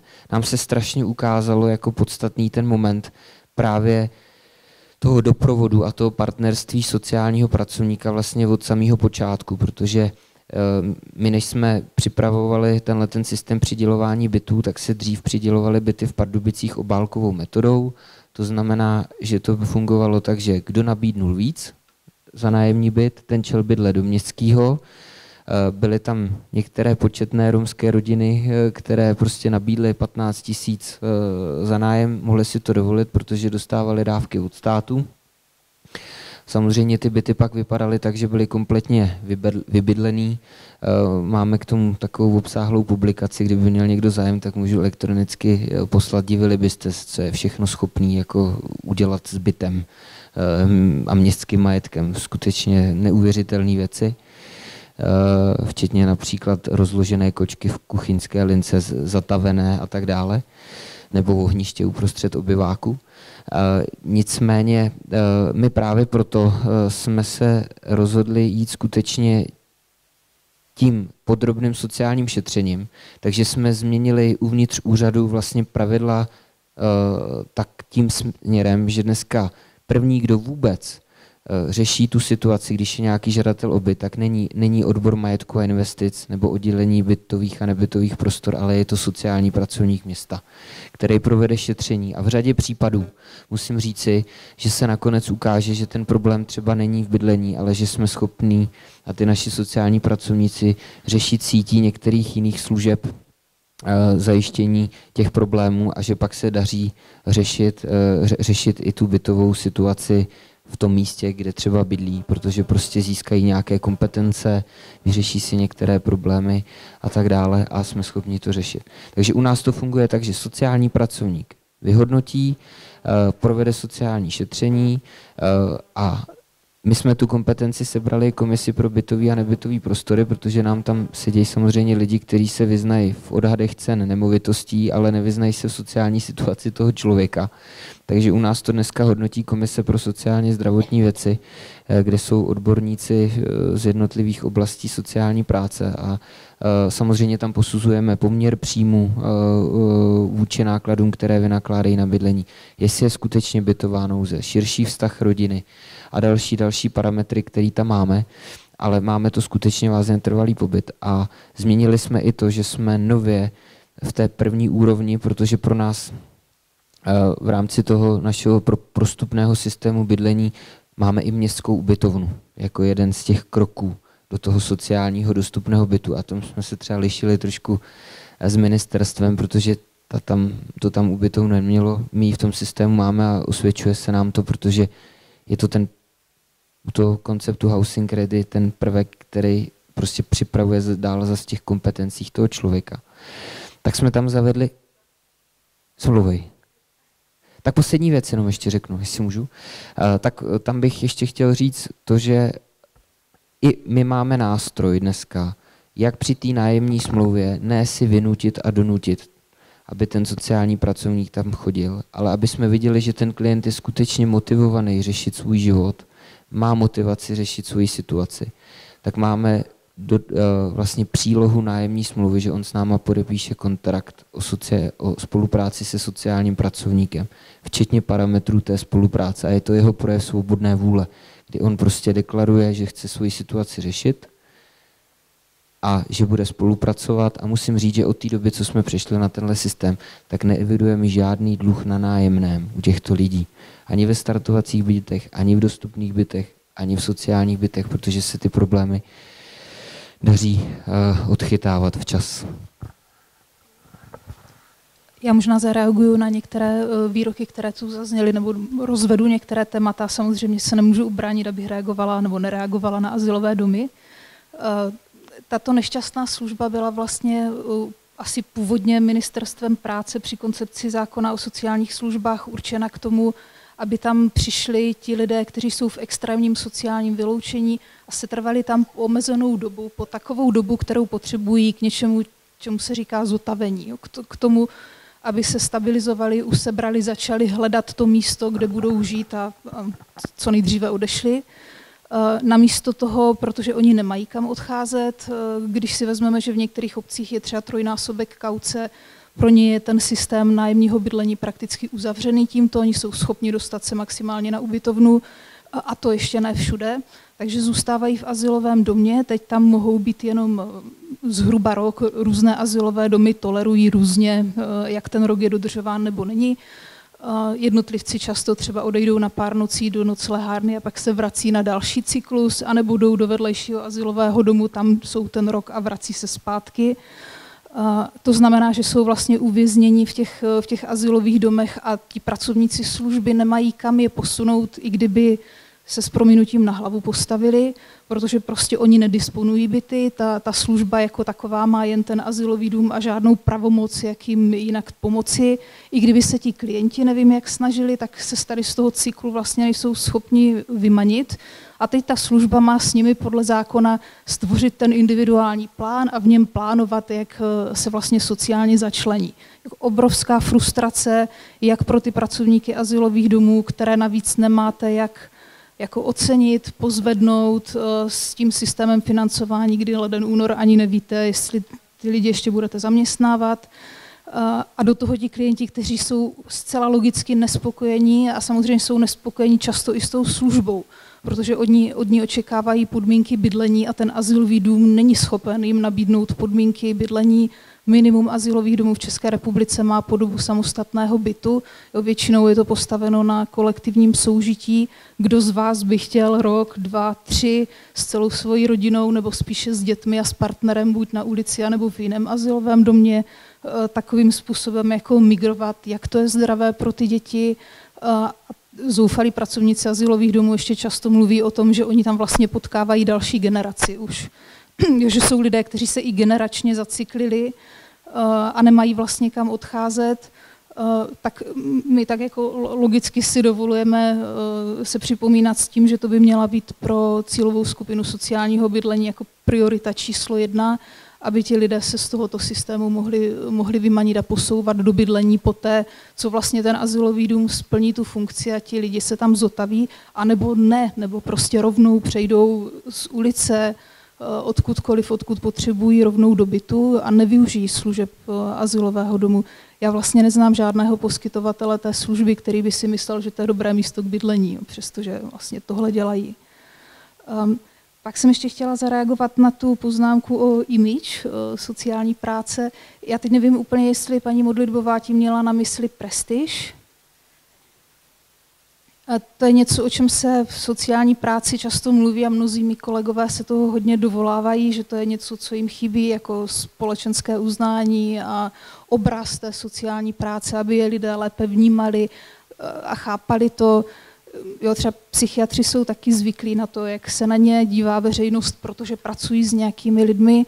Myslím, že, že bychom to měli akceptovat a já třeba toto očekávání jako vůbec od společnosti nemám. Jo, že, že, že by nám měla patřit nějaká prestiž uh, za to, co děláme. Mě by mnohem víc pomohlo, nebo, nebo by, bych považovala jako za zdravé, uh, kdyby nám stát dovolil více uh, používat vlastní mozek, Eh, vlastní zodpovědnost, eh, nechával těm sociálním pracovníkům nějakou jako volnost v tom úsudku, eh, protože s každou novelizací zákona o sociálních službách, já tomu říkám, že to dřív byl volný výběh a teď je to korytobobové dráhy. Jo. My jsme se ocitli Eh, v tak jako utlačeném prostoru, odkud kam můžeme, takže když ten klient do toho azyláku přijde, tak oni s ním musí plánovat, přestože by ho chtěli nechat vydechnout a nějak se jako usebrat po tom, co přišel z ulice a je dezorientovaný a nerozumí spoustě věcí a potřebuje si vydechnout, eh, tak možná jako splnomocnění nebo autonomie pro sociální pracovníky by třeba pro mě byla důležitější než ta prestiž,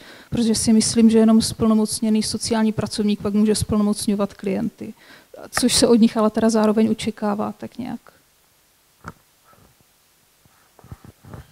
Tak, složité téma. Eh, já jsem byla tři období zastupitel v městečku Tišnov, je u Brna, který má 9 tisíc obyvatel. A eh, v podstatě, když nad tím přemýšlím, mně se hrozně líbil ten návrh toho zákona o tom sociálním bydlení, protože vlastně kopíroval jako mé praktické zkušenosti z té komunální politiky.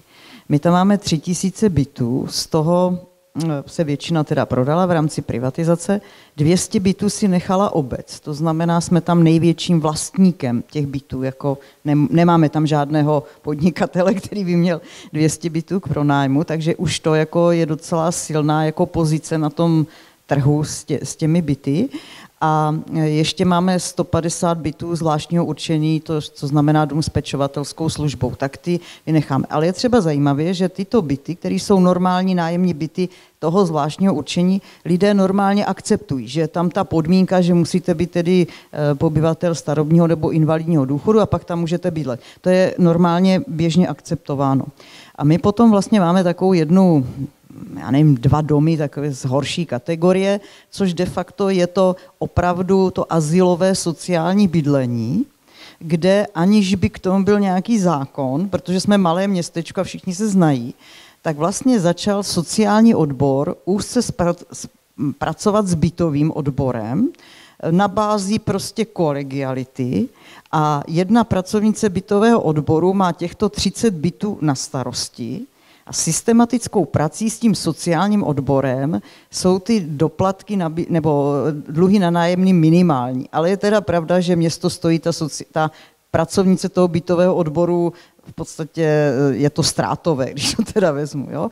ale podařilo se tam držet nějakou, vlastně ta sociální práce v tom terénu, ale není to na základě nějakého zákona nebo na základě smlouvy, nicméně se to prakticky provádí. Takže já bych uvítala, když by to mělo tu oporu v tom zákoně, protože tady je to čistě o mezilidských kontaktech v rámci té malé radnice.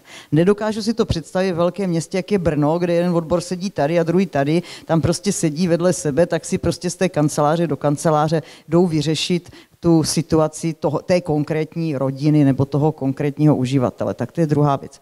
Potom také máme, eh, jsme postavili pár sociálních bytů z dotace MMR, kde se právě testoval ten příjem, to určitě víte, někdy před 15 lety. A to znamená, to by byly ty byty pro dejme tomu lidi, kteří se z důvodu příjmu a jinak se živí poctivě nebo nemají žádné problémy eh, se svými sousedy a podobně, by vlastně město jim tyto byty přidělovalo, což já typicky beru třeba ovdovělé seniorky, matku samoživitelku, lidi, kteří se dostanou do nějaké obtížné situace třeba z důvodu zdravotního stavu a do té doby neměli problém. Proto mě se tam v tom zákoně líbily jakoby ty dvě kategorie toho, nechci říct sociálního bydlení, ale dvou typů těch klientů. Ale vždycky jsem si říkal, je to fajn, testuje se tam ten příjem, ale nám se teďka stal fakt případ, který mě to eh, jako mě nahlodal, protože my tam máme dětský domov, které má takovéto tréninkové bydlení a jeden ten absolvent toho tréninkového bydlení má maturitu, řádně začal pracovat, je občanem Tišnova a město opravdu, protože ho zná jako velmi slušného, aktivního mladého muže, chtělo opravdu mu ten byt přidělit. Tam se uvolnil byt, No, ale on příjmem přesáhl ty limity. To znamená, k našemu překvapení, vlastně město mu nemohlo ten byt v tom tady v té bytovce přidělit, protože nesplňovalo ty podmínky té dotace. Naštěstí se pak uvolnil jiný městský byt, takže to všechno dobře dopadlo a to město vlastně ho mohlo. A dneska je to mladý člověk, poctivě se živící, odvádějící daně, občan, prostě v pohodě. Takže někdy to testování toho příjmu může být takto záludné, protože kdo jiný měl dostat ten byt, než člověk, který vlastně vzešel z dětského domova a který se sám vlastní aktivitou postavil na vlastní nohy, který bychom měli podpořit. Tak a ještě jsem tady ještě chtěla říct jednu věc, Myslím si, že by bylo dobré i jako, a to je zase v kompetenci obcí, myslím si, že není potřeba k tomu žádná legislativa, že město by si mohlo udělat fond, ze kterého by bezúročně půjčovalo na tu kauci a v případě, že by se kauce vracela, tak by se vrátila tomu městu. To znamená, nebyly by to žádné zvýšené náklady a mohly by třeba nějakým způsobem pomoct. Stejně tak, jak jsem se bavila o těch 300 tisících bytech, které jsou v obcích do 200 obyvatel, tak by možná i bylo možné pro nějaký fond, který by těmto obcím mohl třeba pomoct bezúročně půjčit těm vlastníkům, aby zřídili třeba druhý byt, třeba se vnuci nastěhovali k prarodičům více generační bydlení a o tom třeba v České republice vůbec nemluvíme, že by více generační bydlení mohlo být zajímavé a trendy. Otázka byla na podobu toho zákona o sociální bydlení, veď? Jo. No, tak mě na tom zákonu, který neprošel, tak samozřejmě jako kdybych hlasoval, tak hlasuju pro něj, ale a, proč je lepší Eh, něco než nic, občas jako nejde dosáhnout perfektního výsledku, ale přišlo mi, eh, on definoval teda ty lidi, eh, kteří na to měli nárok na to bydlení, že dávají za bydlení do na 40% příjmů a zbydem do 26 násobku životního minima, pokud si pamatuju, nebo dvojnásobku životního minima. Je to 1,6, ono se to potom snižovalo, aby to bylo omezenější, tak 1,6, pardon. Každopádně, když si to jako spočítáte, eh, eh, byly nějaké odhady eh, v UPSu nebo nějakého, nějakého orgánu, že to splnilo asi 10% české populace. Teďka by se to asi muselo uvolnit, protože teďka by to splňovalo podle mě takovýhle definici třeba, já nevím, 15, možná i víc procent české populace. A ten, ten zákon mi přišel, že to jako vyměnil moc za některé věci, jako nakonec, že byl teda jako nepovinný, že jo, nějak pro ty obce. A za druhý tam byly takové věci, že ta bytová nouze musí trvat 6 měsíců, aby ten nárok vznikal, což třeba u té rodiny, která ztratí, se rozvede, ztratí to uh, nájemní bydlení, tak musí být 6 měsíců na tom azyláku v podstatě. A potom jako třeba, když, když kdyby tam bylo spoždění tím uh, přetlakem těch žadatelů, tak by bylo velmi pomalej, teda jako to, nebo bylo by riziko, že, že, že ten zákon může být pomalej. Testování toho příjmu má nějaký problémy, o kterých jste mluvil vy, a možná jako tím, že lidi v exekuci mm, který jako, jich máme teda dost a myslím, že ty exekuce, ta jejich vyřešení je jedna taky s podmínkou vyřešení toho problému bydlení, tak mají oficiálně jako velmi malý příjmy a, a dělají že na černo a podobně, takže taky nevím, jestli ten příjem je dobře testovatelný. Proto já se možná kloním spíš jako k řešení, aby ten zákon měl, eh, aby byl povinný pro obce, aby měl menší podmínku než těch 6 měsíců, aby třeba jasně stanovil, že ten sociální byt nemůže být v nějaký segregovaný lokalitě, že se prostě nepostaví eh, barák plný sociální bytů, což to taky úplně podle mě nebylo jasně vidět. A, a možná, aby na úkor tyhle těch věcí byl omezenější prostě, aby to, aby to podmiňoval, aby, aby ta příjmová definice byla uší, protože v té příjmové definici tam prostě, když si to spočítáte, tak některé matky samoživitelky nesplňovaly. Ačkoliv tu kauci si nemůžou dovolit prostě zaplatit dvě kauce. Jako, no. uh, Některé rodiny to zase splňovaly. A v podstatě, jako když teda nejsou diskriminovaní na tom trhu a, a to bydlení už má a podobně, tak uh, uh, já nevím, tak mají příjem čistě 20 tisíc, dávají 8 tisíc za bydlení, což je nějakých 40%, těch 12 tisíc se tak nějak u nějaké rodiny vejde do 1,6 násobku životního minima, když je větší. Takže vlastně splňovali, ačkoliv možná je otázka, jestli by splňoval měli tu, tu definici tenkrát. Takže já bych možná jako zavedl jako drsnější uh, tu nárokovost z hlediska těch prioritních skupin, protože tam to byla jenom prioritizace v případě, že těch žadatelů je hodně, pro to prioritizovat a trošku omezil tu příjmovost, aby to nebylo na tak velkou populaci. Jo. A, a potom to dostupné bydlení řešili jinýma způsobama. Ale to je, eh, jako je to teda na širokou diskuzi, mi přijde, že když ta skupina bude moc široká, tak to prostě narazí u těch obcí na to, že ne u všech to je na to ten bytový fond a, eh, a, na, na, na další, další problémy. Jako no. tak, eh, a souhlasím teda, myslím si, že u některých skupin, jako jsou rodiny s dětma, nebo důchodci, nebo lidi, kteří vyjdou z dětských domů, nebo lidi s psychickými poruchama, je prostě nutný to housing first. A u některých, eh, u některých skupin, jako jsou individuálně žijící jako dlouhodobí, dlouhodobí důchodci, je možná lepší to prostupný bydlení, nebo housing, eh, housing ready prostě. Jo. Myslím, že těch prvních skupin že je ta větší možná, jako, a, a, uh, ale že nesmysl, když jsem myslel, že prostě ty rodiny se provedou tím housing ready a to je prostě nesmysl. Jako.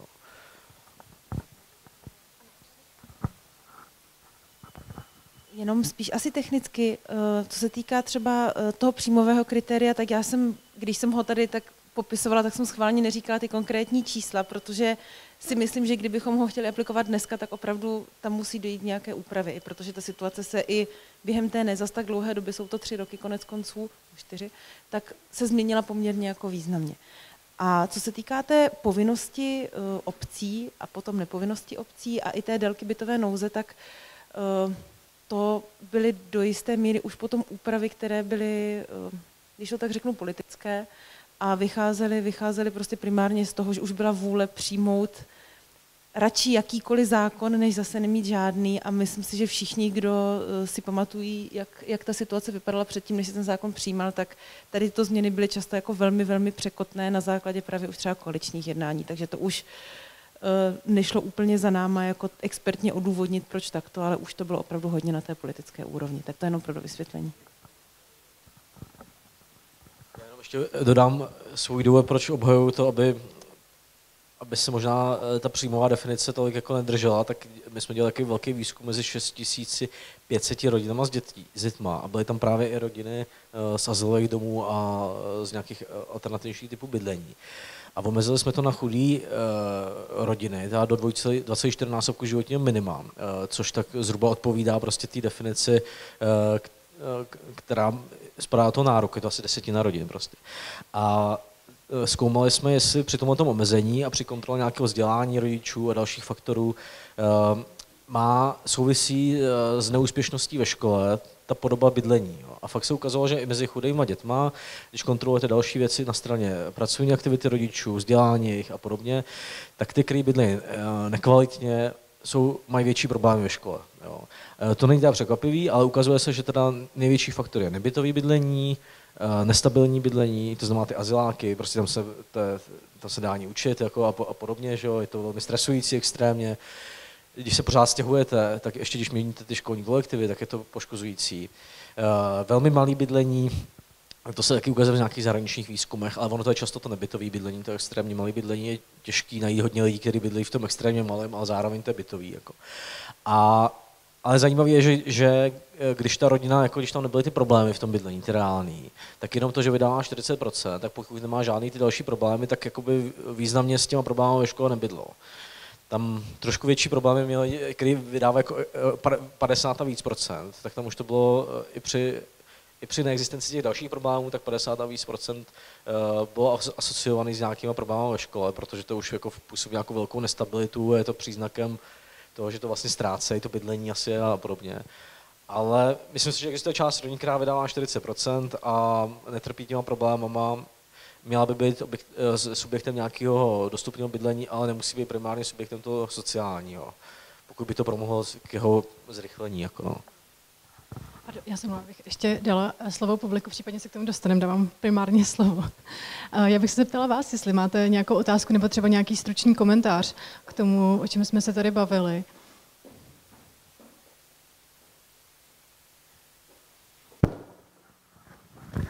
Dobrý den, já jsem eh, Rušan Pávek, starosta města Jevíčka, malého městečka, v podstatě ve východním cípu Pardubického kraje a musím souhlasit tady s paní eh, poslankyní Valachovou. Eh, měl by určitě vzniknout eh, nějaký legislativní rámec pro obce, protože ještě v období, kdy jsem například nebyl starostou, tak naše město prodalo část bytového fondu, ale ty peníze už se potom nevrátily jakoby na obnovu nebo na výstavbu nových bytů a použili se do jiné infrastruktury v našem městě. A dnes se s tím potýkáme, máme neustále asi okolo 110 žadatelů na, na ten počet 2800 obyvatel obyt, a, e, což je poměrně velké číslo. A jak jsem dneska prošel těmi třemi workshopy, tak je to ústřední téma vlastně všech těch workshopů, ať už to byl jako podpora e, té krajské politiky v rámci rozvoje venkova nebo udržení venkova, taky motivace rodin e, jakoby k zakládání samozřejmě rodin a také bydlení, tak bych se přimlouval za to určitě ten rámec, udělat. Eh, bál bych se trošku toho sociálního, striktně sociálního bydlení, protože máme s tím eh, určitou zkušenost. Eh, stavíme v současnosti malý bytový dům právě v rámci režimu sociálního bydlení z dotace místní akční skupiny nebo prostřednictvím masky. A jsme v podstatě v tom regionu jediní, kteří jsme do toho trošku odvážně šli, protože ostatní obce také chtěli něco takového vytvořit, ale obávali se právě těch podmínek, že nebudou schopni dostat do toho, eh, do toho bytového domu eh, prostě ty skupiny cílové. Takže bych maličko jakoby byl pro, aby se eh, rozvolnila ta skupina, nebylo by to jenom v rámci sociálního bydlení. A pak mě ještě napadl takový, takový námět další, že v rámci, bych řekl, fyzické sféry byl, byl velice úspěšným produktem nebo je stále stavební spoření jestli by bylo možné jakoby tento model samozřejmě použít pro obce, protože eh, stává se nám, že připravujeme nějaký dotační projekt. Eh, ta příprava, jak tady už říkal pan náměstek Richtecký, je třeba čtyřletá, než uděláte stavební povolení, projekt a tak dále. A potom eh, se stane, že nedostanete dotací z nějakého důvodu a ten projekt dáváte k ledu, takže čeká na další financování. Takhle bychom třeba mohli si ten projekt de facto připravit, eh, postupně si na něj v té obci spořit třeba 4 roky s tím, že by nám stát k tomu přidal určité procento a my bychom věděli už eh, s nějakou vizí, že opravdu za 4 nebo 5 let budeme mít eh, našetřené peníze a ten projekt se prostě bez rizika dá zrealizovat. Takže to si myslím, že by se dalo určitě promyslet. Děkuji. Děkujeme. Ještě prosím tamhle vzadu.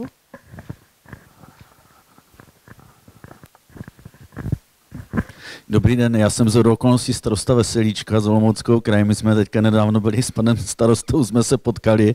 Nicméně já jsem měl právě úplně to chtít vzít úplně opačně, protože si nemyslím, že vždycky, když slyším někde povinnost nebo že nějaké pravidla, nové pravidla pro obce, tak prostě zbystřím a řekli to tady všichni, řekl to i pan Prokop jako nějaké pravidla.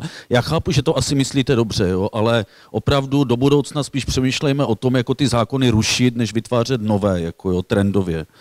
A druhá věc, eh, eh, sociální bydlení, my jsme samozřejmě zapojeni taky do toho projektu pilotního věření sociálního bydlení, taky široko daleko to nikdo neřeší moc a jako z těch obcí My to řešíme, šli jsme do toho, prostě volby jsme vyhráli prostě a tak dále, jako, takže byli jsme v této věci jako odvážní a tak dále jako, a přineslo nám to spoustu věcí, ta sociální práce opravdu to je výborné, že je to s tím spojeno a tak dále. To je, je to opravdu pilotní a ty výstupy opravdu by měly sloužit těm dalším obcím. Nicméně, jak tady zaznělo od pana náměstka eh, z Pardubic i tady pana starosty, příprava těch projektů trvá nějakou dobu. Samozřejmě, jestli Pardubice si můžou dovolit jako projekt, eh, realizační projektovou dokumentaci, tak věřte, že my na vesnici ne. Jenom ty běžné dokumentace, které taky stačí prostě k výběrovému řízení, stojí taky jako nemalé peníze. Opravdu investuje se do toho hodně. Bohužel my jsme nestihli, a teďka právě to, co chci, teraz, kde směřuji ten dotaz, Ministerstvo práce řeší ten projekt měkký a tak dál. IROP jsme nestihli, eh, dali jsme dotaci do projektu Ministerstva financí, do toho nově otevřeného eh, programu. Tady řešíme sociální bydlení, tam o tom nechtěli ani slyšet, jako o tomto názvu. Jako, jo. Takže zase prostě bych byl opravdu mm, jako to nájemní bydlení, sociální bydlení, trošku si ujasnit opravdu tu terminologii napříč vlastně těmi rezorty, ať se mluví o tom tež, protože mě je úplně jedno, jestli mám nájemníky, ty čtyři nové byty, které chci v bytovém domě udělat, jestli mají nájemní bydlení nebo sociální bydlení. My se snažíme v tom mikrosvětě nebo v té malé obci, kde jsme vlastně venkově jedna rodina, si všichni známe, že a e, samozřejmě té Alžbětě a Marušce a tak dále, jako se snažíme pomoci prostě, když je v nějaké e, sociální tísni nebo není a tak dále. Takže jako opravdu uh, chce to jako by spíš, jak to tady zaznělo od vás, právě ta image té sociální práce, image toho nájemního bydlení, jako prodat to pozitivně, že to bude dobré pro vás, pro obce. Máme tady nástroje, jak vám pomůžeme, a ne, že hned dáme legislativně povinnost obcím. Jako jo. Takže takhle.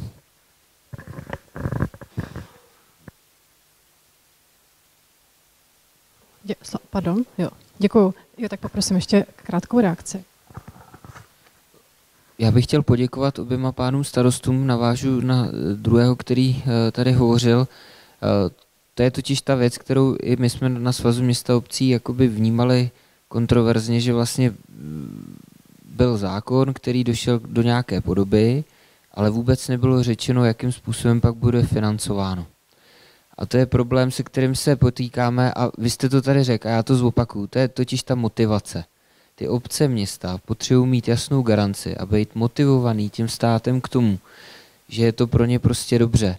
A já když se podívám dneska na uh, program Výstavba, který tady taky dneska jako dneska několikrát padnul uh, pod MMR jako všespásný nástroj, který má vyřešit problémy, tak ono tomu tak jako skutečně není. My máme připravený projekt za 150 milionů korun v jedné vyloučené lokalitě, kde bychom to chtěli kompletně zrekonstruovat, změnit tam systém vytápění, zateplit ten objekt, přidat tam balkony, aby se zlepšila i kultura toho bydlení, eh, vytvořit tam rekonstrukcemi i některé bytové jednotky, tak, aby jsme tam mohli vytvořit ten optimální mix, aby tam nebyly jenom malometrážní byty, ale eh, aby tam prostě mohla bydlet i ta střední třída eh, nebo zaměstnanci eh, vedle těch osob ohrožených sociálních vyloučením nebo mladými rodinami startovací bydlení.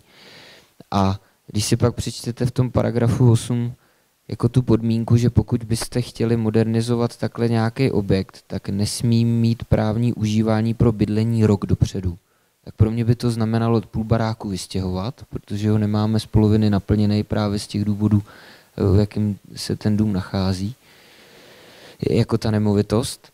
Takže my bychom ho podle toho nařízení vlády prostě museli vystěhovat, takže musíte vzít 50 lidí, někam je přestěhovat do jiné části města, rok čekat. Zároveň ten eh, dům musí, rok nesmí být určen pro bydlení, nesmí mít právní statut, že, že, že přesně tak. Přesně tak. Takhle to je v nařízení vlády. Takže, takže uh, jinými slovy, uh, já je odstěhuju a další, a, no, je to, je, pro mě to je naprosto nepochopitelná věc, ale hlavně vy stejně ten barák, i když tam nikoho nemáte, musíte vytápět, musíte ho nějak udržovat, aby vám ještě víc nezastarával a tak dále. Takže já bych chtěl upozornit na to, že ta motivace, a zase máme příklad ve Finsku, kde to mají vázaný na veškerý příjmy, který mají z výherních hracích automatů, tak, na, tak to mají na to státní fond rozvoje bydlení a ty peníze pak rozdělují prostě městům a obcím podle toho, jak mají připravený projekty, mají tam na to státní agenturu, mají tam na to regionální agentury, které je tam optimální mix soukromí a veřejného kapitálu a funguje to. Takže ty příklady, jak motivovat, jsou taky po Evropě. Já se jenom vyjádřím k těm pravidlům. Jo. Já bych chtěla zareagovat na to, že my tím, že nemáme pravidla, tak my vlastně nemáme funkční systém a to dokonce v situaci, kdy jsme vrazili, opravdu, co vrazili, my jsme spláchli, jo. Za posledních 20 let 200 miliard korun, 200 miliard korun do takzvaného sociálního bydlení. Takže ho tady máme. Možná vlastně to tady rozpustme, protože ho tady máme. Jo, a teď já vám řeknu, proč ho nemáme. Jo. Eh, byla jsem teď nedávno na nějakém setkání s občany. Na, na vozíčku ke mně přijela vozíčkářka. Jo? To znamená, to bych řekla, tak to je cílová skupina, kterou ještě opravdu i ty nejdrsnější drsňáci jako snesou. Jo? To bychom mohli zajistit nějaké bydlení, jo? to je jako jasný. No a tam mě vyjevila následující věc, že teda byla v takzvaném bytě zvláštního určení, že v listopadu minulého roku skončila takzvaná udržitelnost, která tam byla 10 let. Samozřejmě to byl ten dotační, jeden z těch dotačních programů dříve, MMR. Eh, výsledek byl ten, že jim bylo sděleno, že buď to bude platit o 6 tisíc korun víc měsíčně, a nebo ať s tím vozíčkem, včetně manžela, který byl taky na vozíčku, odjede jinam. Jo. Byla jí nabídnuta charita, pa, paní kolegyně, tak možná, uh, jo. Takže tohle je realita, jo. A teď vám řeknu, jak to vyřeší jinde, jo. Německo máte pravdu, oni žádný pravidla nemají. Protože všechny ty obce fungují tak, že se o ty občany normálně starají a nenapadá je takový všechny ty nápady, o co napadly, jak říkám, bohužel ten neosvícený eh, starosty v těch minulých 20 letech, aby zavařili těm osvíceným starostům. Jo eh, nebo svým nástupcům, jo, pokud se to jedná o stej, stejnou obec. A eh, co se týká Rakouska, tam jenom narážím na to, že určitě máte pravdu v tom, že a i tady kolega Jakub, že v ten zákon musí um, formulovat ty eh, průběžné peníze na financování toho systému. My musíme říct, co ten systém je a jak se financuje a kdo to dělá. Já jenom říkám, že to musí dělat obce, prostě nikdo jiný to líp neudělá. Nebude to jediný aktér, ale ten, kdo to garantuje, jako by zastátce obec. Jo. Nemá smysl, aby to dělal někdo z ministerstva jako od Vltavy. Jo. To jako je prostě pitomost. A co se týká teda to, co jsem chtěla říct, tak v Rakousku je to tak, a já jsem tam opravdu mluvila jakoby s místními eh, politiky, ministry nebo vlastně kolegy v komunále, tak oni to mají tak, že vlastně veškerý nebo veškerý možná ne, ale prostě velká část daně z nemovitosti plyne do jednoho, z jednoho místa jakoby spravovaného fondu. Jo. A z toho se to zase potom zpátky ty, jo, ty země a regiony berou jako na to plnění, mimo jiný na to plnění těch svých povinností. To je jako jeden, jeden jakoby z těch zdrojů. Uh, ale myslím si, že třeba Ústecký, Ústí, Ústí nad Labem, Chomutov, Most už mají jiný názor jak vy, protože oni jsou úplně s proměnutím v pytli, jo, protože jim to nefunguje vůbec nic. Jo, I když jsou rádi tady za tu záplatu z toho fondu výstavba, tak oni říkají, dobře, tak my do toho půjdeme, nastavíme ty nájemní byty, naplníme to těma nájemníkama, bude to všechno fungovat. A co bude za 20 let? Že oni to chtějí vědět. Jo, protože to budou 20 let udržovat, jo, je tam nebo 25, bude tam nějaká udržitelnost. A co bude potom? Jo? Budou tam dál, nebo budeme to, jak, jak to budeme opravovat. Jo? A je tam další, další a další věci, potřebují ty lidi vědět. A potom sociálně dostupný bydlení, jak jsme řekli, vlastně všichni panelisti jde v ruku v ruce. A třeba pro regiony, jako je Sever Čech nebo Sever Moravy, pokud nebudeme mít takovýhle jako dostupný bytový fond, my tam prostě nic nevzkřísíme, jo? prostě to tam všichni pochcípají jak myši, jo? takhle to prostě dopadne. Jo, všichni se přestěhují buď to do Prahy nebo do Brna. Jo, a potom budeme posílat tady maily, že eh, tam stojí na nájem 30 eh, tisíc. A je to celý o tom, že nejsme schopni jako fungovat jako jo, v nějakým vzájemným respektu a soudržnosti. Jo. Takže já bych byla ráda, kdyby jsme byli všichni tak osvícení, že nepotřebujeme zákon, já bych byla první, kdo by navrhl jejich zrušení. Ale moje zkušenost jako bohužel je taková, že nějaký základní pravidla, neříkám, že telefonní seznam, že ani s proměnutím se neotočíte jo, jako starostové, ale základní pravidla, že se něco má, jo, nějaký žádoucí cíl, že k tomu máte ty a ty nástroje, že to máte dělat a že na to máte nějaký zdroje, na tom si fakt trvám, že to je ta cesta. Děkuju. A čas nás hodně tlačí. Doufám, že mi ještě dovolíte úplně poslední otázku, velice krátce. Ta otázka je uh, hodně krátká. Uh, my jsme vlastně tady mluvili o spoustě problémů, bariér i spoustě řešení. Uh, mě by zajímalo, čím začít vlastně, abychom jakoby opravdu si řekli jednu tu klíčovou věc. Já vím, že je to strašně těžký, to jednoduchá otázka, ale ta odpověď je hrozně těžká, ale zkuste říct z vaší perspektivy, čím by se mělo začít, aby se vlastně nějakým způsobem jsme se posunuli v řešení toho problému. Možná Já bych, asi bych začal uh, narovnáním toho trhu, který dneska nějakýma podporama podporujeme hypotéky, je velmi uh, zdlouhavý stavební řízení, tím vlastně jakoby narušujeme ten trh, protože pro, pro, pro ty ostatní řešení byly ty podmínky takové, že ten trh může řešit většinu těch věcí sám a to dneska jakoby nějaké věci neumožňují, takže tím, bych začal jako druhý krok, nebo jako krok, který může být připravený s tím, bych zavedl zákon o sociálním bydlení. No. Tak, já bych byla hrozně ráda, aby se ve veřejném prostoru ukazovaly i jiné způsoby nabití bydlení, než jenom čistě komerční nájem, anebo hypotéka a vlastní bydlení, to znamená i jiný alternativní způsoby, které by mladým umožnili. A potom, a teď to zní možná tak jako tvrdě, ale v roce 90 přebrali obce regionál, jako školství, jako základní a každému starostovi je jasné, že musí zajistit místo ve školách pro své děti, které tam bydlí. A byla bych ráda, aby stejná filozofie vlastně byla i v těch zastupitelstvech, co se týče bydlení a sociálních služeb, že to není jenom o tom, že zajistí místa ve školách, ale že se musím postarat o své občany, jak z hlediska vůbec sociálních služeb, protože mnohé obce ani nechtějí třeba přispívat třeba našemu ORPčku na výkon sociálních služeb, anebo i na to bydlení. Aby to prostě brali to zastupitelstvo jako samozřejmost, že jsou to jejich občani a musí do toho dát stejné peníze jako třeba na výstavbu nového fotbalového stadionu nebo nového parkoviště. A když jsou v Brně, tak se řeší tady, jestli se dá miliarda do stavby jakési sportovní haly, jak můžu mít sport ráda, ale řeší, že nemáme na školky. Takže je to o těch prioritách. Pro naše... Nemají.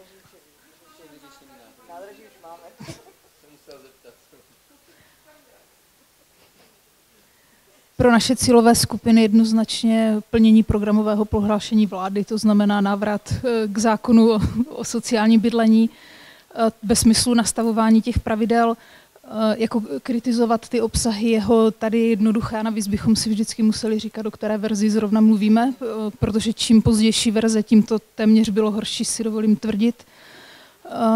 takže asi třeba začít někde jako možná od prostředku nebo ještě blíž jako k tomu úvodu, ale bez toho teda z mého pohledu to nepůjde. Jsem mluvil nejvíc, vždycky jsem to měl, jak budu nejstručnější. Pravidla, systém, motivace a rozvoj dalších forem bydlení. Tak za mě určitě zákon, to už tady zaznělo, a s tím související a možná to ještě předcházející spolupráce a to na všech úrovních. Zazněla tady nespolupráce nebo omezená spolupráce na té eh, nejvyšší úrovni centrální mezi ministerstvy, ale velice důležitá je i spolupráce mezi obcemi a i v rámci obcí, vlastně mezi bytovými sociálními odbory a úřady práce. To si myslím, že je ten stěžení, eh, stěžení bod, na kterém se pak dá stavět dál. Tak eh, já bych nám všem přála to, aby se nám podařilo to, abychom v roce 2025 slavili pět výročí, páté výročí od zákona o dostupném bydlení. Takže aby se nám to zkrátka podařilo v roce 2020. A e, teď jenom taková vážná poznámka na závěr, nebo možná zlomyslná, ale myslím si, že nejenom já, ale i řada e, mých kolegů, a to bych řekla napříč politickým spektrem, kteří mají rozum v hrsti, mozek v hlavě, ví, že pokud se nám nepodaří vyřešit dostupné bydlení, Eh, tak to bude eh, zdrcující pro každého, kdo v tom neřešení bude mít prsty, jak v krajských, tak v celostátních volbách v roce 2021. A u toho bych byla dost, eh, dost nerada. Takže pokud politiky minimálně motivuje to, aby měli volební výsledek, tak i odborně a profesně jsem přesvědčena o tom, že my dostupné bydlení skutečně vyřešit už musíme. A přikláním se k tomu, aby jsme šli nějakou minimalistickou verzi, na které se zhodneme, než abychom tady neměli nic. To si myslím, že je úplně jasné. Moc děkuju. Děkuji vám za pozornost, děkuji našim panelistům a už vám popřeju hezký večer.